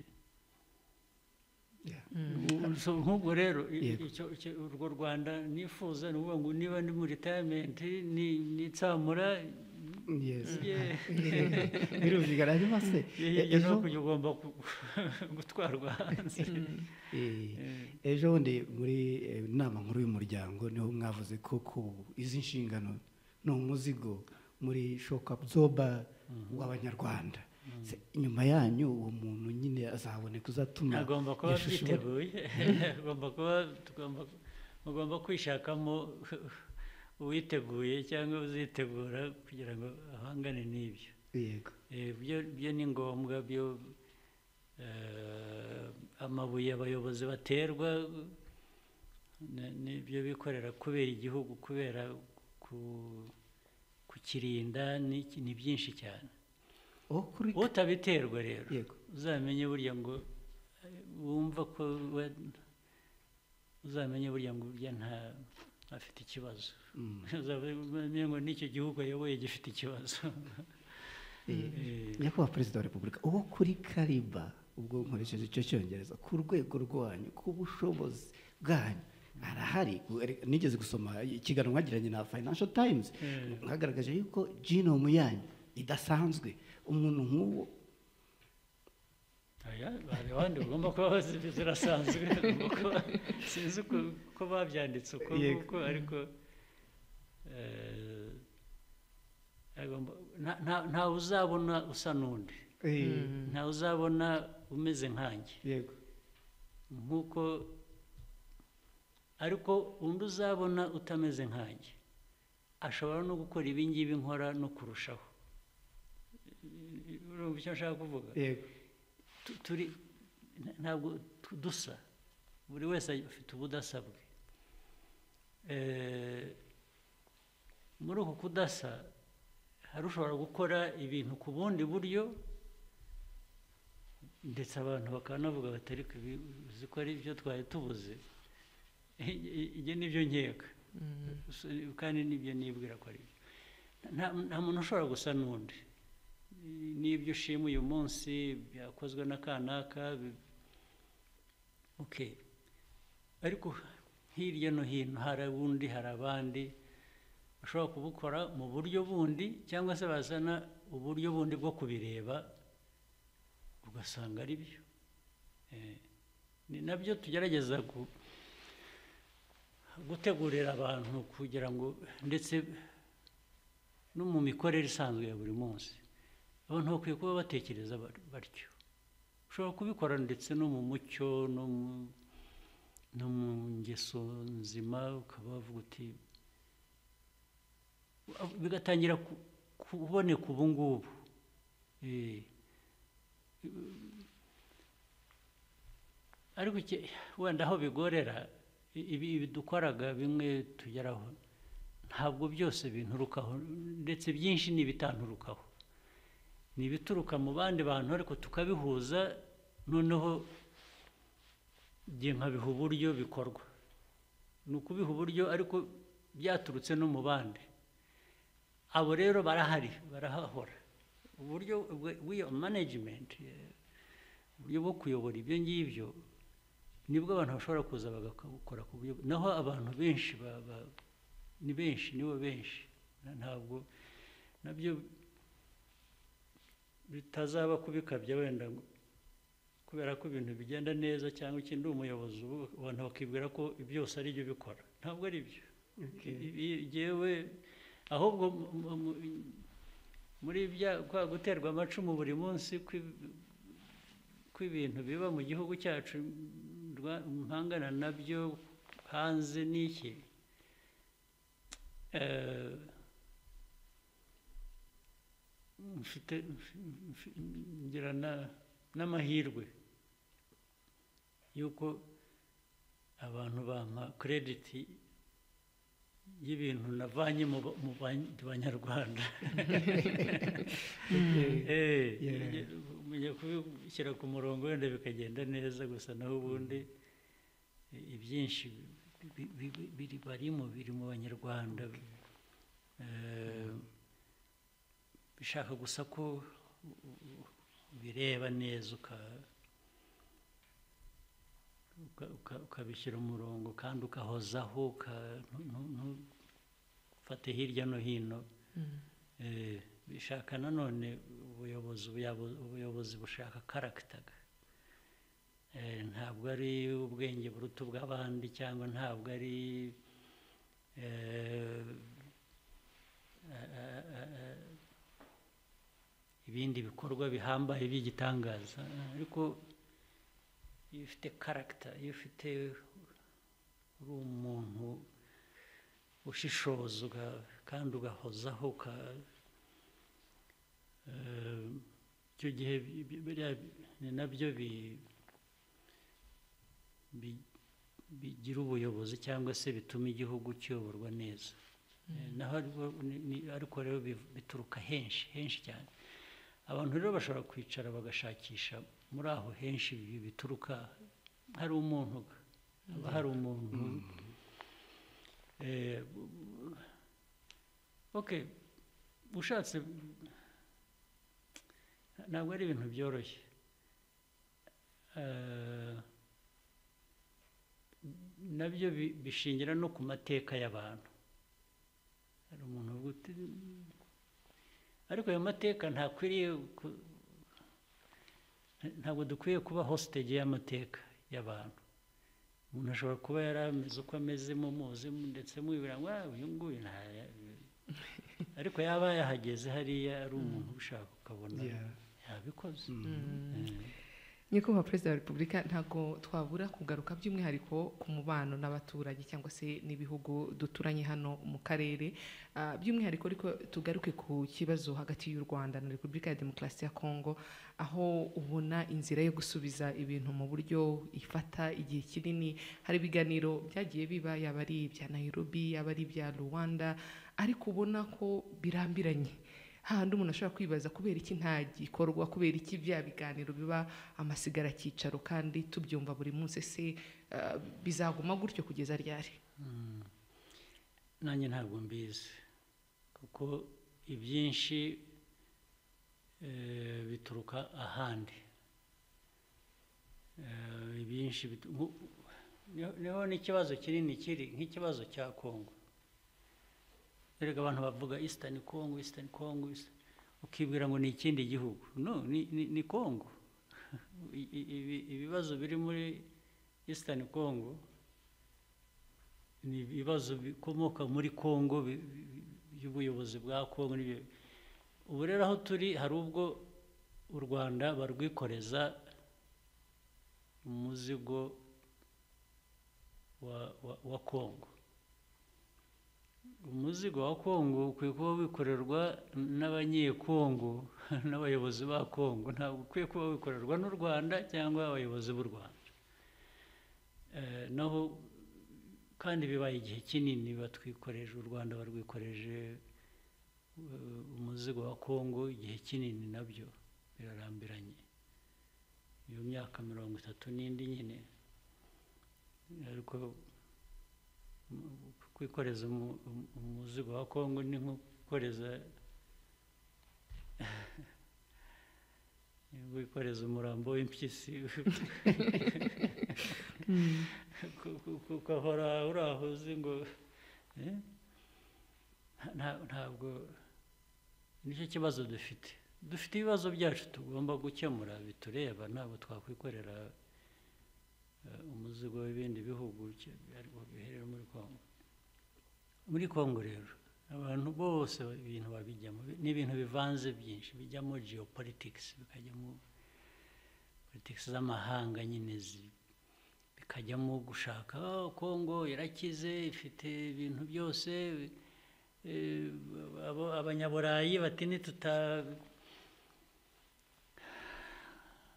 kongo neza ngo tuyi- tuyihe ibyo ishaka byose niyo byaba bidashyitse kongo iratwarwa n'abashinwa kongo iratwarwa n'abarusiya kongo ni ubwo bakemera ikibi cya kongo no kuyigana no ku umugogoro wayo kuwikoreza abandi ntibanawikorere ubwabo kugira ngo bakomeze ba- ba- gukora ibyo bakora muri kongo. Ibyo ariko nta n'ufite na byo ikibazo. Ngewe ujya gukura ibyo akura muri kongo igihe birandebaho iki? Gusa igende bakure ariko baranshakaho iki? Kuki kugira ngo uvane ibyo ushaka muri kongo ugomba kunyikoreza ibibazo bya kongo nanjye ubwo mfite ikibazo ngomba kubabaza.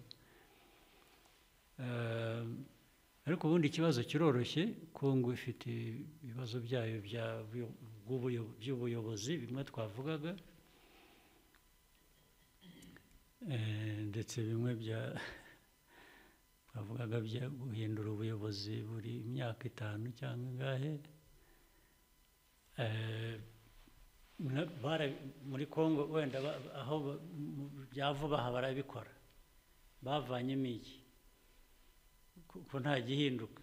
Niba demokarasi niba guhindura ubuyobozi buri buri gihe ari byo rwose isi yose ikwiriye kubaha cyangwa na kongo ikajyamo ko babikora se ko nta kivamo? Bo bazize iki noneho? Ko ushimye twebwe ko bafitanye ikibazo natwe ngo hari umuyobozi udahinduka? Ariko umuyobozi nta kidahinduka. Ubu n'u rwanda ruzagera aho ruhinduke nyine. Ni ugupanga gusa kugira ngo turebe ko guhinduka kutazaba eh, impamvu y'ibitagenda neza mu rwanda naho guhinduka byo rwose nta kibazo. Ariko muri congo icyo ni ikibazo kimwe. Icya kabiri abanyekongo tugeze no kuvuga kare abanyarwanda cyangwa cyane cyane abatutsi bo muri congo. Erega buriya n'abanyarwanda bandi batari abo batutsi bavugwa batotezwa rimwe na rimwe nabo ntabwo bameze neza. Nabo bagera aho bakaba abanyarwanda bose b'abanyekongo ntibameze neza by'umwihariko abatutsi bo muri kongo ndetse niyo mpamvu na byo bakwiriye kuba byabibutsa kuba bashaka kubana bakabana hagati yabo ntiba- ntibashyirwemo amacakubiri nabo ngo biyumve nk'abatutsi n'abahutu na- iyo batangiye kubyibonamo nabo batyo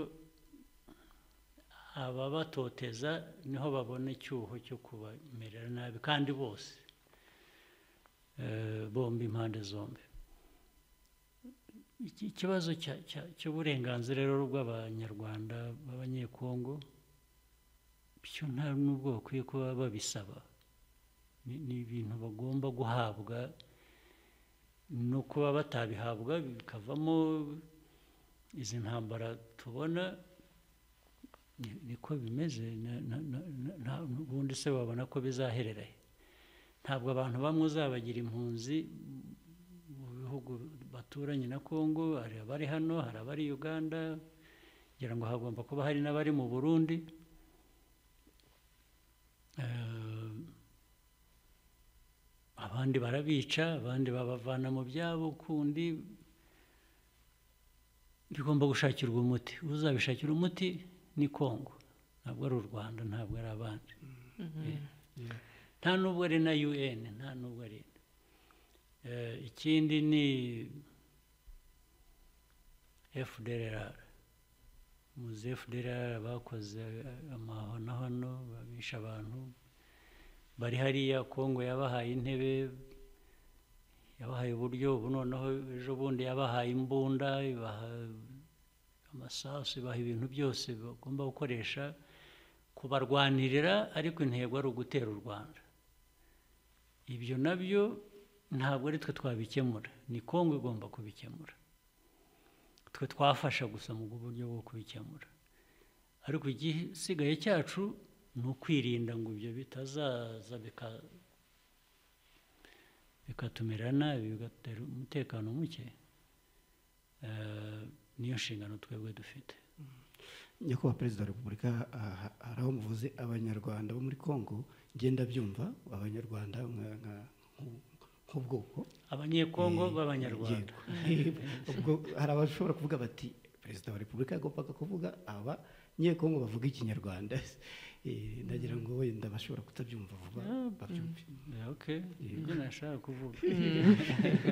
Eh, nyakubahwa perezida wa repubulika sinzi nimba ah, twakomeza n'ikibazo gikurikiyeho cyangwa se twafata n'akaruhuko biraterwa kugira ngo dukomeze Mm. dukomeze noneho mu mm. kanya dufate na telefone. Ikiganiro tutakiharira twenyine. Yego. Ariko ntago nanone twa- twabura kugaruka oswaride ku kibazo by'ubwihariko cyangwa se ntago ni no kugira ngo abanyarwanda bamenye aho ibintu bigeze by'umwihariko ku masezerano u rwanda ruri kugirana n'ubwongereza ku bijyanye n'abimukira by'umwihariko abajya mu bwongereza mu buryo butemewe n'amategeko. Abenshi bagiye babyumva hari ibyo ubwongereza bwavuze hari ibyo mwatangaje nyakubahwa perezida wa repubulika ariko kugeza n'uyu munsi umuntu aravuga ngo ese bimeze gute? Ese hari amakuru mashya ahari cyangwa biracyameze nk'uko byari bimeze mu minsi yashize? Urebye nta bintu bishya cyane bihari gusa nuko abantu akenshi no mu byo twavuze mbere bindi bijyanye n'u rwanda cyangwa kongo hagati y'u rwanda na kongo n'ibindi hari ubwo abantu baguma ku kintu kimwe gusa bakagumya babaza ibibazo bimwe ukabasubiza ejo bakongera bakakubaza bigahora ari nk'indirimbo. Naho nta bishya. Ibijyanye na na migration abantu bava hamwe bajya mu bindi bihugu na imikoranire dufitanye n'ubwongereza ubundi ikibazo nta nubwo gishingiye mu bwongereza gusa ni kinini kurusha. Twebwe rero nk'u rwanda nta nubwo ari na cyo kibazo cyacu twe nta kibazo dufite cy'abantu babimukira baza mu rwanda bavuye hanze ngo dufite ikibazo ntabo tunafite bava mu rwanda ubu bajya hanze hari abava hanze baza mu rwanda hari abava mu rwanda bajya hanze ibyo nta kibazo dufite kinini cyangwa nta n'igihari ku by'abongereza rero uko byaje byaje nabwo bishingira no ku bindi twakoraga nko muri libiya cyane cyane twagiye tubikorana n'ibindi bihugu ariko twe muri libiya cyane ni ho mpera ni ho twagize uruhare niba mwibuka byatangiye ngira mu mirongo muri cumi n'umunani bibiri cumi n'umunani cyangwa se birangira bitangirwa cumi n'icyenda bibiri cumi n'icyenda. Twe icyo twavuze byari ugufasha abanyafurika bagendaga bambuka mediterranean bakagwamo bagapfa abandi bagahera muri libiya libiya aho ibintu bihindukiye bimeze nabi abantu bagapfa ntibabone n'uko bambuka. Muri cumi n'umunani ndi chairman wa african union. Twaravuze ngo ariko reka dufashe aba bantu kandi birashoboka. Nabwiraga n'abanyafurika ngo dushobora kubikora ku buryo tugerageza kugabanya abanyafurika bahunga bajya hanze bigaterwa n'invesitimenti dukora mu bihugu bitandukanye imikoranire yacu bigatanga imirimo bigatanga iki? Abantu ntibabone impamvu yo gushaka kuva muri ibyo bihugu. Ariko tugahera no gukemura ku kibazo gihari gukemura ikibazo gihari cy'abantu bari barabaye eh, nk'ingwate muri bari imbohe mu- muri Libya. Noneho dutangira kubazana murabazi batangiye kunyura hano. Yeah. n'ubu baracyaza. Baracyaza ari hari benshi n'abaje ejo bundi ahubwo. Mm. Eh, nabonye ko hamaze kunyuranyura ngo ibihumbi bibiri n'imisago y'abantu ba- ariko dukorana na- n'inzego zibishinzwe ku isi za UNHCR ibintu za migration offices n'ibindi. Ibyo rero ni ibintu bi- bi- ntibikemura ikibazo burundu ariko ni ibintu bibishyira mu buryo nibura bikabiha umurongo ushaka gukemura ikibazo. Nibyo rero eh, abongereza babonye ba- badusaba ko twabikorana.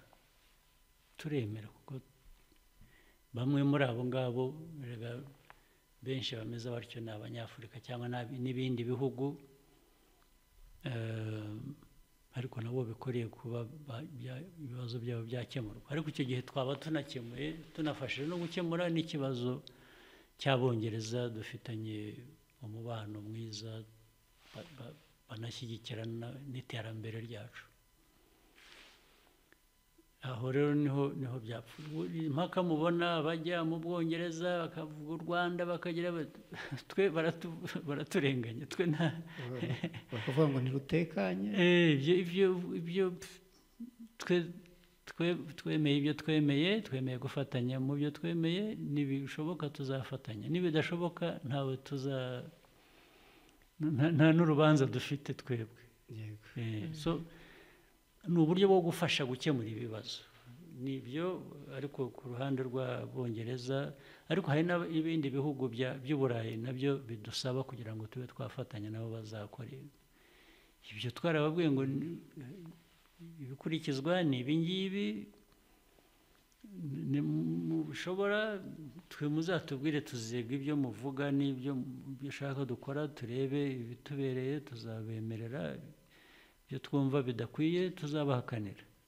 Eh, Ya- nyakubahwa perezida wa repubulika iyindi gahunda u rwanda rwagize amahanga akayijyaho ibinyamakuru bikandika cyane abasesengura bakayitera imijugujugu ni gahunda ya visiti rwanda. Kuriya mufatanya na aseno ikamamaza u rwanda kuri aseno ni ho imijugujugu yari ishyushye. Murangije mwerekana ko nta kibabwiye mujya gufatanya na psg murongera imijugujugu irako- irakomeza. Mujya no kuri bayani municini tukavuga tuti ibi bintu bigombe kuba ahubwo bitanga umusaruro. Mwa- mwabiduhaho ishusho. Oh, biratanga umusaruro cyane ariko mujya mubibona. N'abake mubona nge hari n'abantu benshi bamaze kumbwira ko abo mpura nabo bakambwira "Eh, cyangwa baza hano baje mu bukerarugendo. Yego. Bakavuga ko bamenye u rwanda bamenye n'ubwiza bw'u rwanda bwamenye ibyo u rwanda ru- rutanga biturutse ku byo babonye muri ibi dukorana na aseno cyangwa psg cyangwa bayani munich. Bayani munich y'ejo bundi. Bimaze kugeza ku badage amakuru y'u rwanda ku buryo tutigeze tubikora mu myaka y'indi mirongo muri iyi mirongo itatu ishize. Ako kantu gato nkako. Eh, ikibazo rero uribaza ariko bavuze induru ikibazo kirimo ni iki? Bibarya hehe bafite? Eh, baravugaga ngo u rwanda rurakennye ntabwo rukwiye gutera inkunga gutera inkunga. Aseno eh, aho ngaho ni injiji rwose. Na- ntawe dutera inkunga Eh, turafatanya ni- partnership bu- buri wese afite icyo akora eh, ntabwo dutera inkunga ntabwo ari gutera inkunga gutese ubundi twaba turi abasazi gufata inkunga ukayiha aseno cyangwa ukayiha bayani munich ntacyo uvanamo ugomba kuba uri umusazi. Eh, ntabwo dufite amafaranga yo kujugunya hirya no hino. Nta- n'amafaranga dufite newe usibye na yo kujugunya nta n'andi dufite. Muri spain la liga hari ikipe na yo mutekereza kuba yakwamamaza visiti rwanda? Mm. birahari hari byinshi tugenda tuvugana. Mu by'ukuri hari abizana. Yego. Reka mbe mbyihoreye ibyo ngibyo no kwirirwa mbivuga Yego, nyakubahwa perezida wa repubulika turacyakomeje kugira nibitaba hatazagira ubinyishyuza yego kuko umuntu ashobora guhita yibaza akavuga ngo ni real madrid ni fc bi- bi- barcelona. biryoshya impaka mu bafana bamwe bati ni twebwe ababarisa abandi bati ni twe real bazajye kubashaka ariko hari ikibazo se kandi njya mbona bagira bagira amatsinda y'abafana ahangaha bagomba kuzabwira ikipe zabo baze nabo bajye muri gahunda turacyari kumwe rero n'umukuru w'igihugu turacyaganira ku mwanya mwiza cyane yaduhaye yagiye adusubiza ibibazo bitandukanye twagiye tumubaza ariko oswald ntabwo twakwirengagiza ko hari abantu badukurikiye yaba ari kuri radio 10 yaba ari kuri royal fm bifuza kuvugana n'umukuru w'igihugu. kuri amaradiyo RBA radiyo y'igi- Rwanda RC Rubavu za zindi za RC zose ukoresha urumva? Ni no kuri KT radio. Ni benshi pe. So ubwo rero nabo twagerageza nibura nabo bakagira uwo mugisha wo kuvugana n'umukuru w'igihugu. Yego reka tufate aga break gatoya cyangwa se akaruhuko gato cyane ku kugira ngo muziki mu gihe bari gutegura mm, uburyo twakire batwumva. aya matelefone. Yego. Eh, telefone ya mbere iramutse iri hafi twayakira. Halo? Halo? Yego. Wiriwe neza? Mwiriwe neza namwe. Eh, witwa nde? Uduhamagaye uri he? Ugiye kuvugana na perezida wa repubulika? Nitwa mukantoheri beyata mperereye mu karere ka rubavu mu murenge wa rugerero. Yego perezida wa repubulika arakumva wamubwira nimba ari ikibazo cyangwa se icyifuzo igitekerezo gutyo. Njye nta kibazo nifuza kumugezaho ijambo ryanjye rikubiye mu gushima. Nyakubahwa perezida wa repubulika ndagushimira ko wowe n'ingabo mwari mufatanije urugamba mwabashije kurwanya jenoside mukayihagarika mu gihe amahanga yareberaga mu byo dushima kandi harimo imiyoborere yanyu myiza iha abanyarwanda amahirwe angana nta vangura iryo ari ryo ryose bikajyana kandi n'umutekano mwiza w'igihugu cyacu aho abanyarwanda bakora imirimo yabo nta nkomyi bakaryama bagasinzira ntacyo bikanga. Ikindi mbashimira nyakubahwa perezida wa repubulika ni uko mwahaye umugore ijambo tukaba dukataje mu iterambere aho dufatanya na basaza bacu mu kwiyubakira igihugu cyacu. Ikindi mbashimira gikomeye nyakubahwa perezida wa repubulika ni uburezi budaheza kuri bose aho abana b'abakobwa bahawe amahirwe angana n'abana b'abahungu mu mashuri yose bakaba batsinda ku kigero gishimishije. Ariko nyakubahwa perezida wa repubulika mubinyemereye mfite n'icyifuzo nifuza kubagezaho. Nyakubahwa perezida perezida wa repubulika nifuzaga ko mu gihe imana ikibadutije ikibatije ubuzima mwakomeza kutuyobora maze igihugu cyacu kigakomeza gutemba amata n'ubuki. Tubifurije umugisha mu byo mukora byose kandi twiteguye kuzabatora ijana ku ijana. Murakoze nyakubahwa perezida wa repubulika. Urakoze cyane urakoze cyane.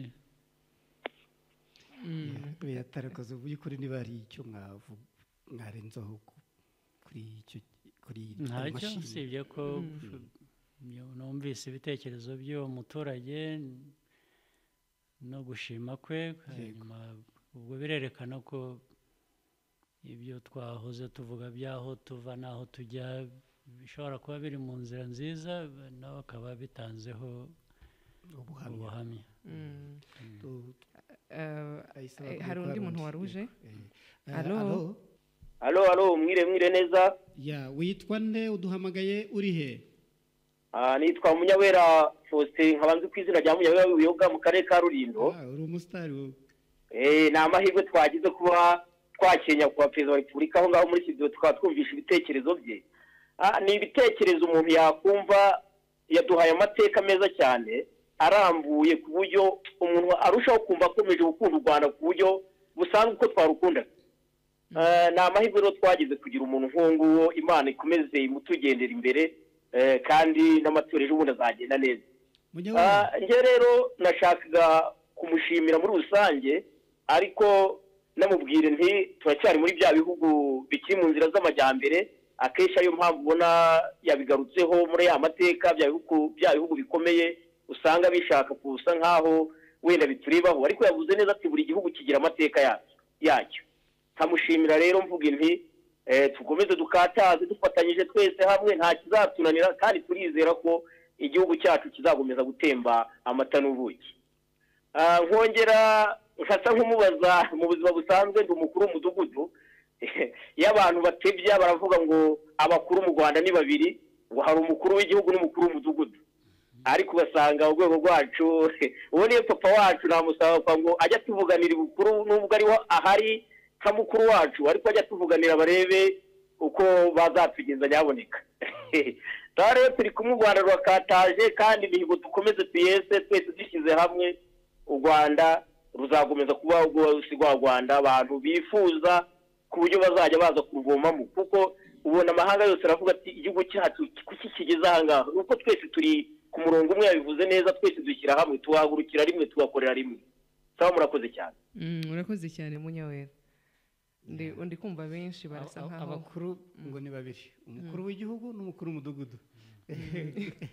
Nibyo ni byo kandi ibyo tuzabikurikirana kugira ngo umukuru w'umudugudu abone umwanya we ukwiriye koko. Mm. Yeah. Aha rero n'ubundi hari hari kimwe mu byo bari bakomojeho bari kubaza bari kuvuga ibitekerezo bita bintera nyakubahwa perezida wa repubulika kugira ikibazo hari igihe abenshi mu baturage hanze yo muri kugana bavuga ati abagore eh, perezida wa repubulika mu rwanda bashyira imbere eh, no mu nteko ishinga amategeko eh, n'aha- no mu nzego zose ugasanga rimwe na rimwe harimo ababigenderaho bazana bavuga ngo ya gender balance ntabwo izagera igasiga umugabo inyuma k'abagore bakomeje kujya imbere cyane.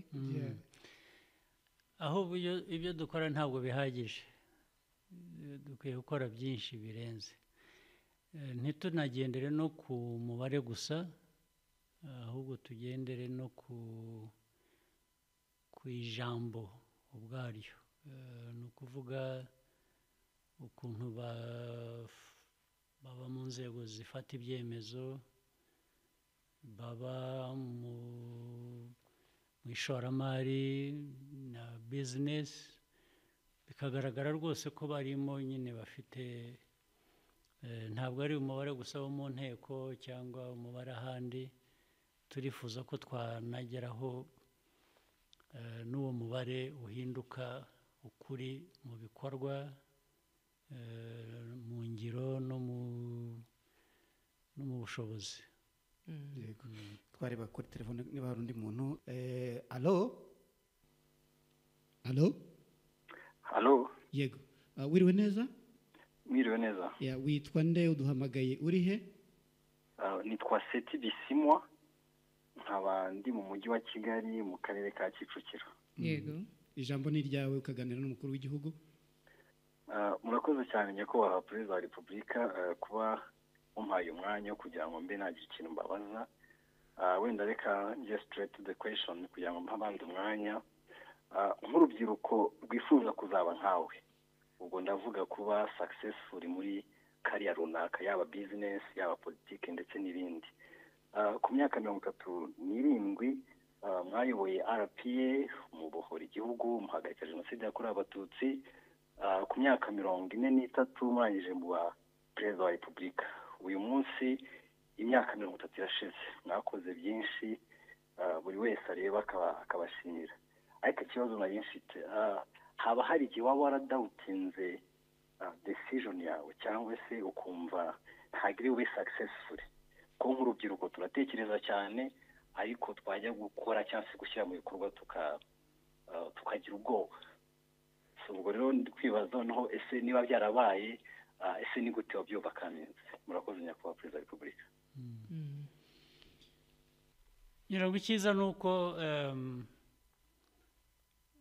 ukwiye kuyoborwa cyane n'intego yawe kurusha eh, gukeka ko utazayigeraho.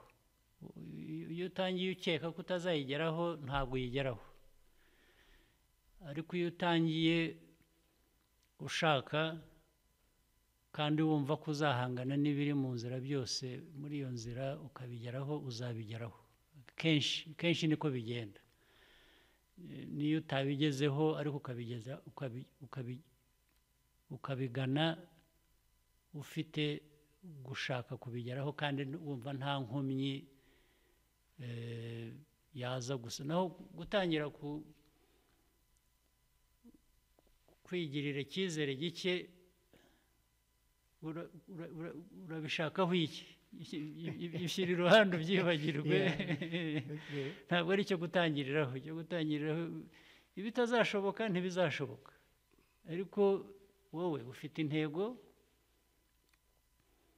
eh, kandi uri nk'abandi bantu bose. Ujye unibaza ariko abandi ko babigeraho igihe nabuzwa n'iki Eh, aba ari cyo wibaza ahubwo. Hanyuma ukora ibyo ugomba gukora ibishoboka bishoboka bishoboke ibidashobotse ubwo ahubwo ushake impamvu wenda wongere usubiremo cyangwa ugerageze ibindi. Ni- ni- ni- ni- ni wo murongo niyo ntekereza abanyarwanda bakwiriye kugira. Ukwiriye kugira ukwiye kugira icyo ushaka ukwiye gutekereza ko nawe ukwiriye kuba uri mu bazabishobora kugera ku cyo ushaka ndetse niba ari inyungu rusange ugafatanya n'undi n'abandi kugira ngo bigerweho ntutekereze ntubanze gutekereza ko utazabishobora ahubwo utekereze ko uzabishobora ari cyo kibi cya mbere. Iby'uko utazabishobora bizizane atari wowe ubizanye kubitekereza. Yego. Ah, sinzi niba muri bukosoreho gato yavuze ko mwatangiye kuyobora rpa mufite mirongo itatu n'irindwi. Ntekereza ko ari mirongo itatu n'itatu. Eh, eh, muri mirongo igihumbi magana cyenda mirongo icyenda. Ariko imyaka imaze kuba myinshi ntabwo nyisigaye menya ko kuri mirongo itatu n'irindwi ingabo mwari muyoboye Mm, zahagaritse genocide. Itatu n'irindwi icyenda kane. Yagendaga yerekana ukuntu mwagiye muzamuka Ah. mwatangiye inshingano zinaremereye mukiri bato. Ya so mwakoze rero. imibare Eh, hari- hari- haramutse hari undi muntu kuri ibyakozwe byarakozwe Yego. ibyakunze byarakunze ibitarakunze ibyo na- ntabwo nirwa mbitaho umwanya yego murakoze cyane. Hari undi muntu twamwakira. Oswald alo alo alo alo alo turakumva neza cyane. Umwana. ninde tuvugana ndumva ari umwana. Okay nitwa manishimwe giliberi yego jiribe ongera ijwi kugira ngo umukuru w'igihugu akumve.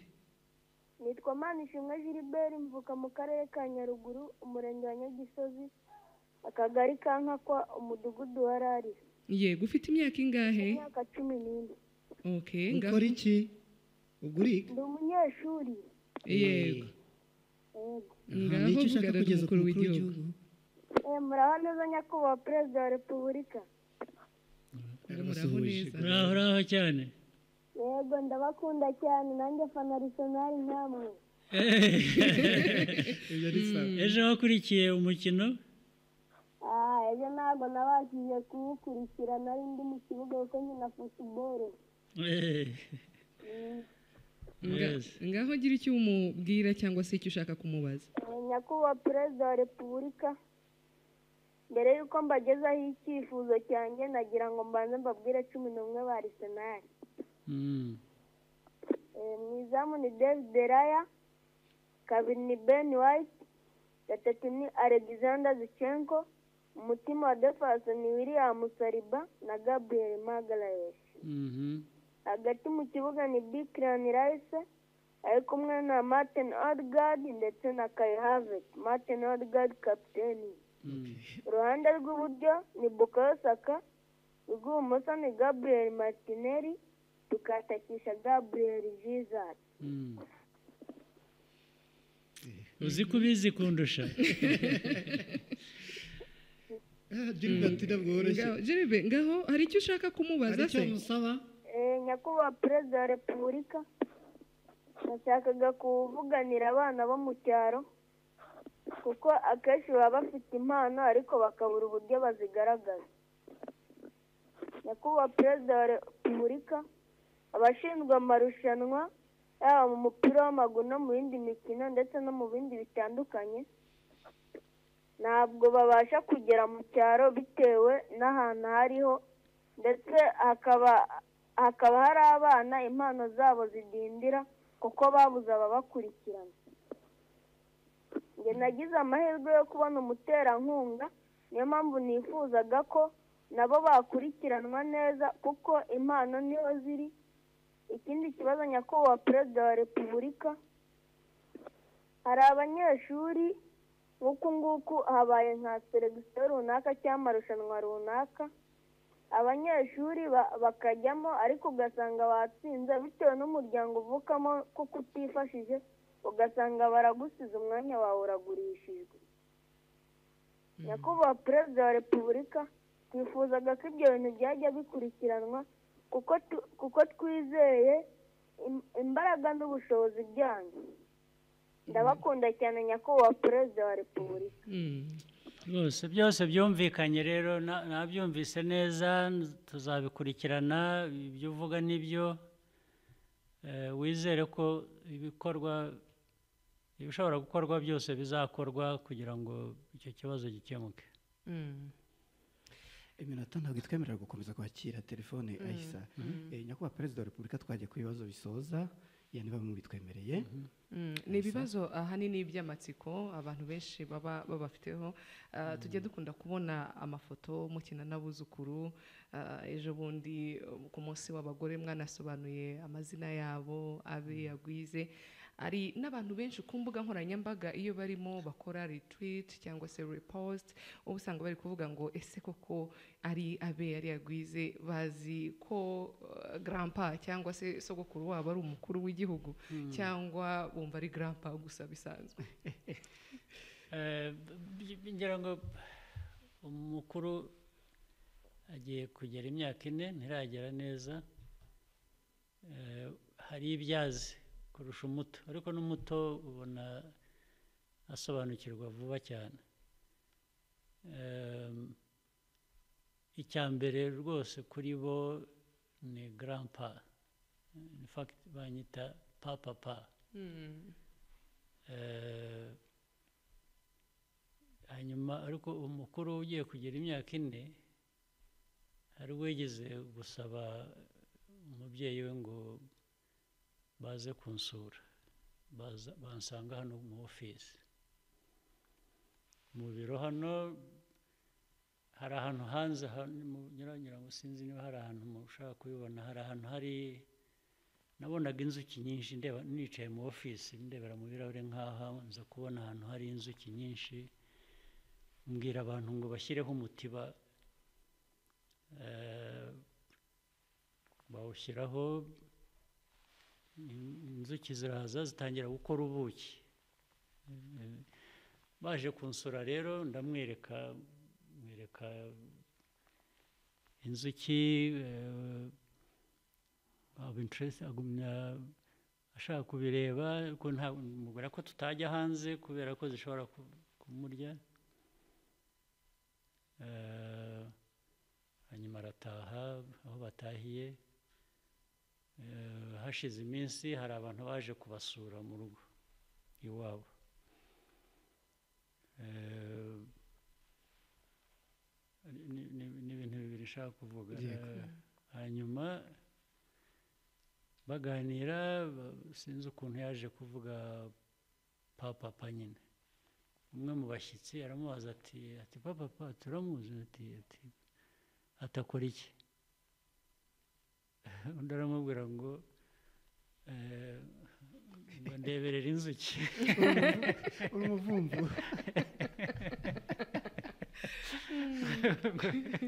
Akazi kanjye ni ukurakoresha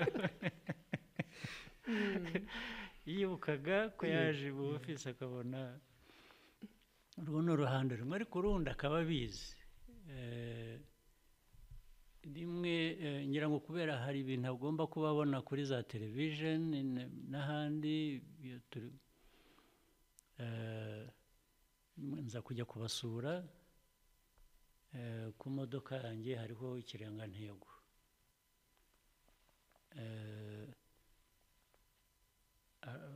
Asohotse bamperekeje arambaza papa pa iyi ni imodoka ni iyawe nti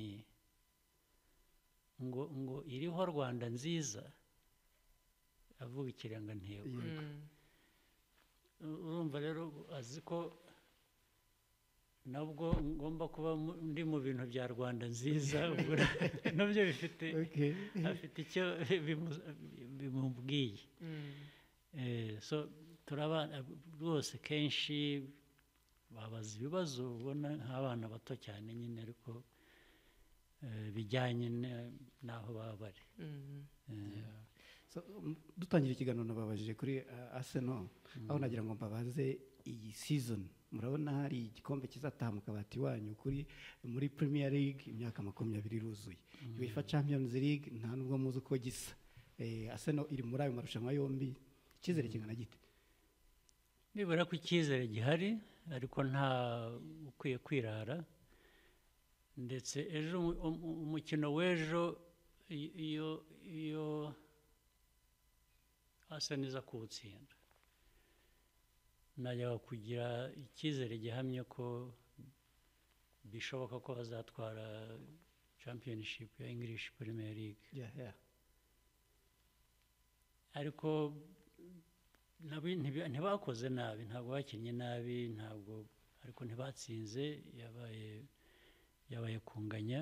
Ubwo ni point imwe binjije niyo mpamvu liverpool ubu ngubu iri imbere ho point ebyiri Ehm, ariko kubera ko batatsinze rero icyizere kiracyahari ariko ntikingana n'iyo nk'iyo bajya gutsinda ni uriya mukino w'ejo kuri jye mu birebere yanjye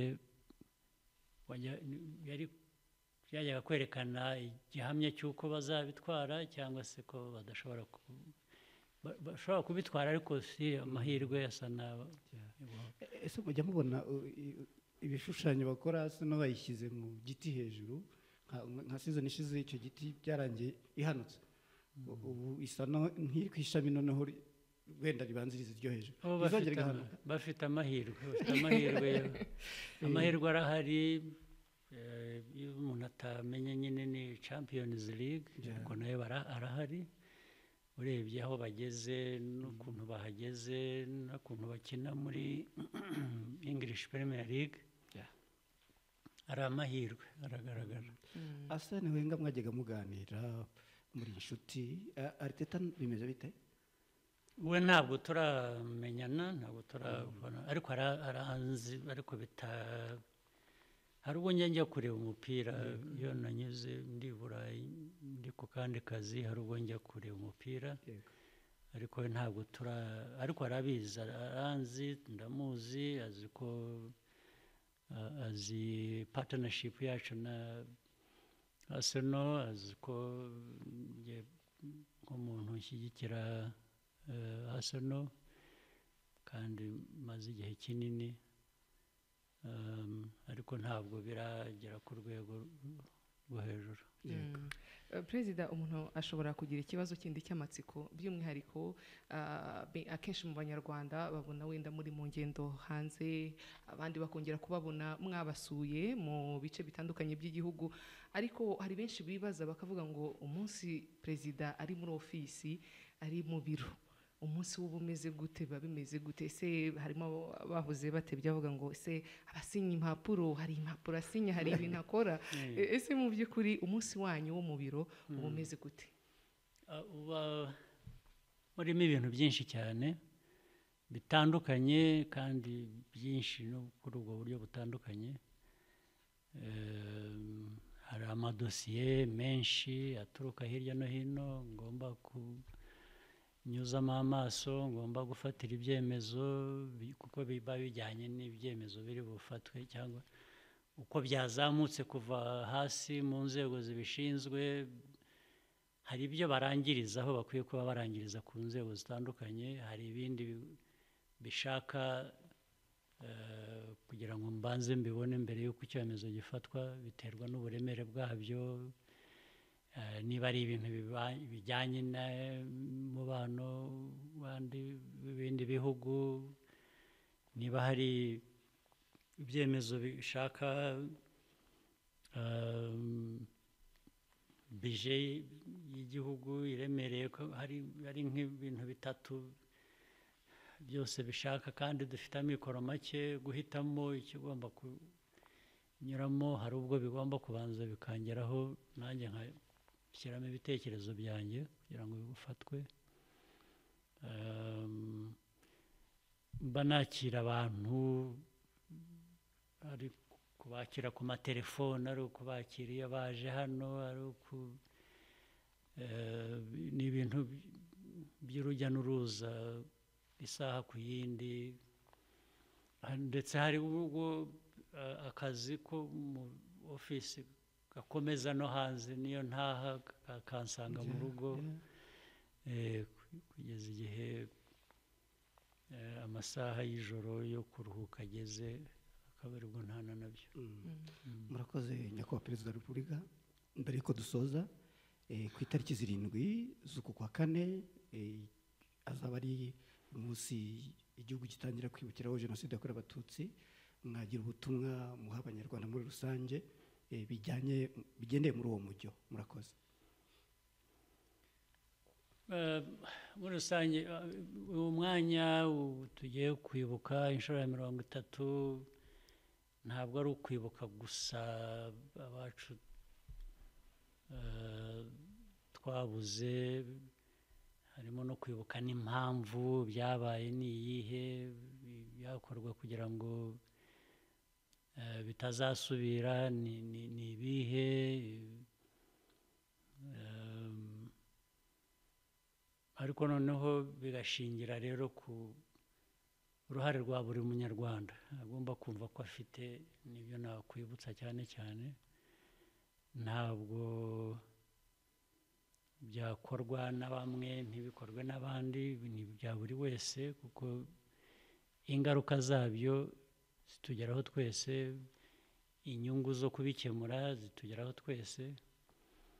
Hanyuma rero ibyo twamara kubyumva neza ahasigaye tugakorera amajyambere tugakorera umutekano urambye ibintu bizahoraho bitari ibyo eh, kugeraho rimwe igice kimwe ahandi ukaba udafite icyizere ko bikomeza. Rwose icya mbere nsaba byo ni buri munyarwanda kwireba muri iyi shusho y'igihugu dushaka akabonamo umwanya we mu gutanga umusanzu ariko noneho no kugerwaho n'inyungu eh, zigomba kumugeraho eh, nk'umunyagihugu kumva ko ari igihugu cye. Bituruka no gukorana na- n'ibindi bihugu bituruka eh, ku bintu byinshi. Iyo- abantu bafite iyo myumvire nk'ibanze ibindi byose biroroha.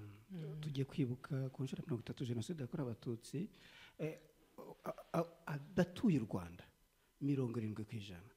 Ari abavutse nyuma yayo. Ntekereza ko hari ubutumwa bwihariye mwa- mwabagezaho Eh, abato ni ukumenya ko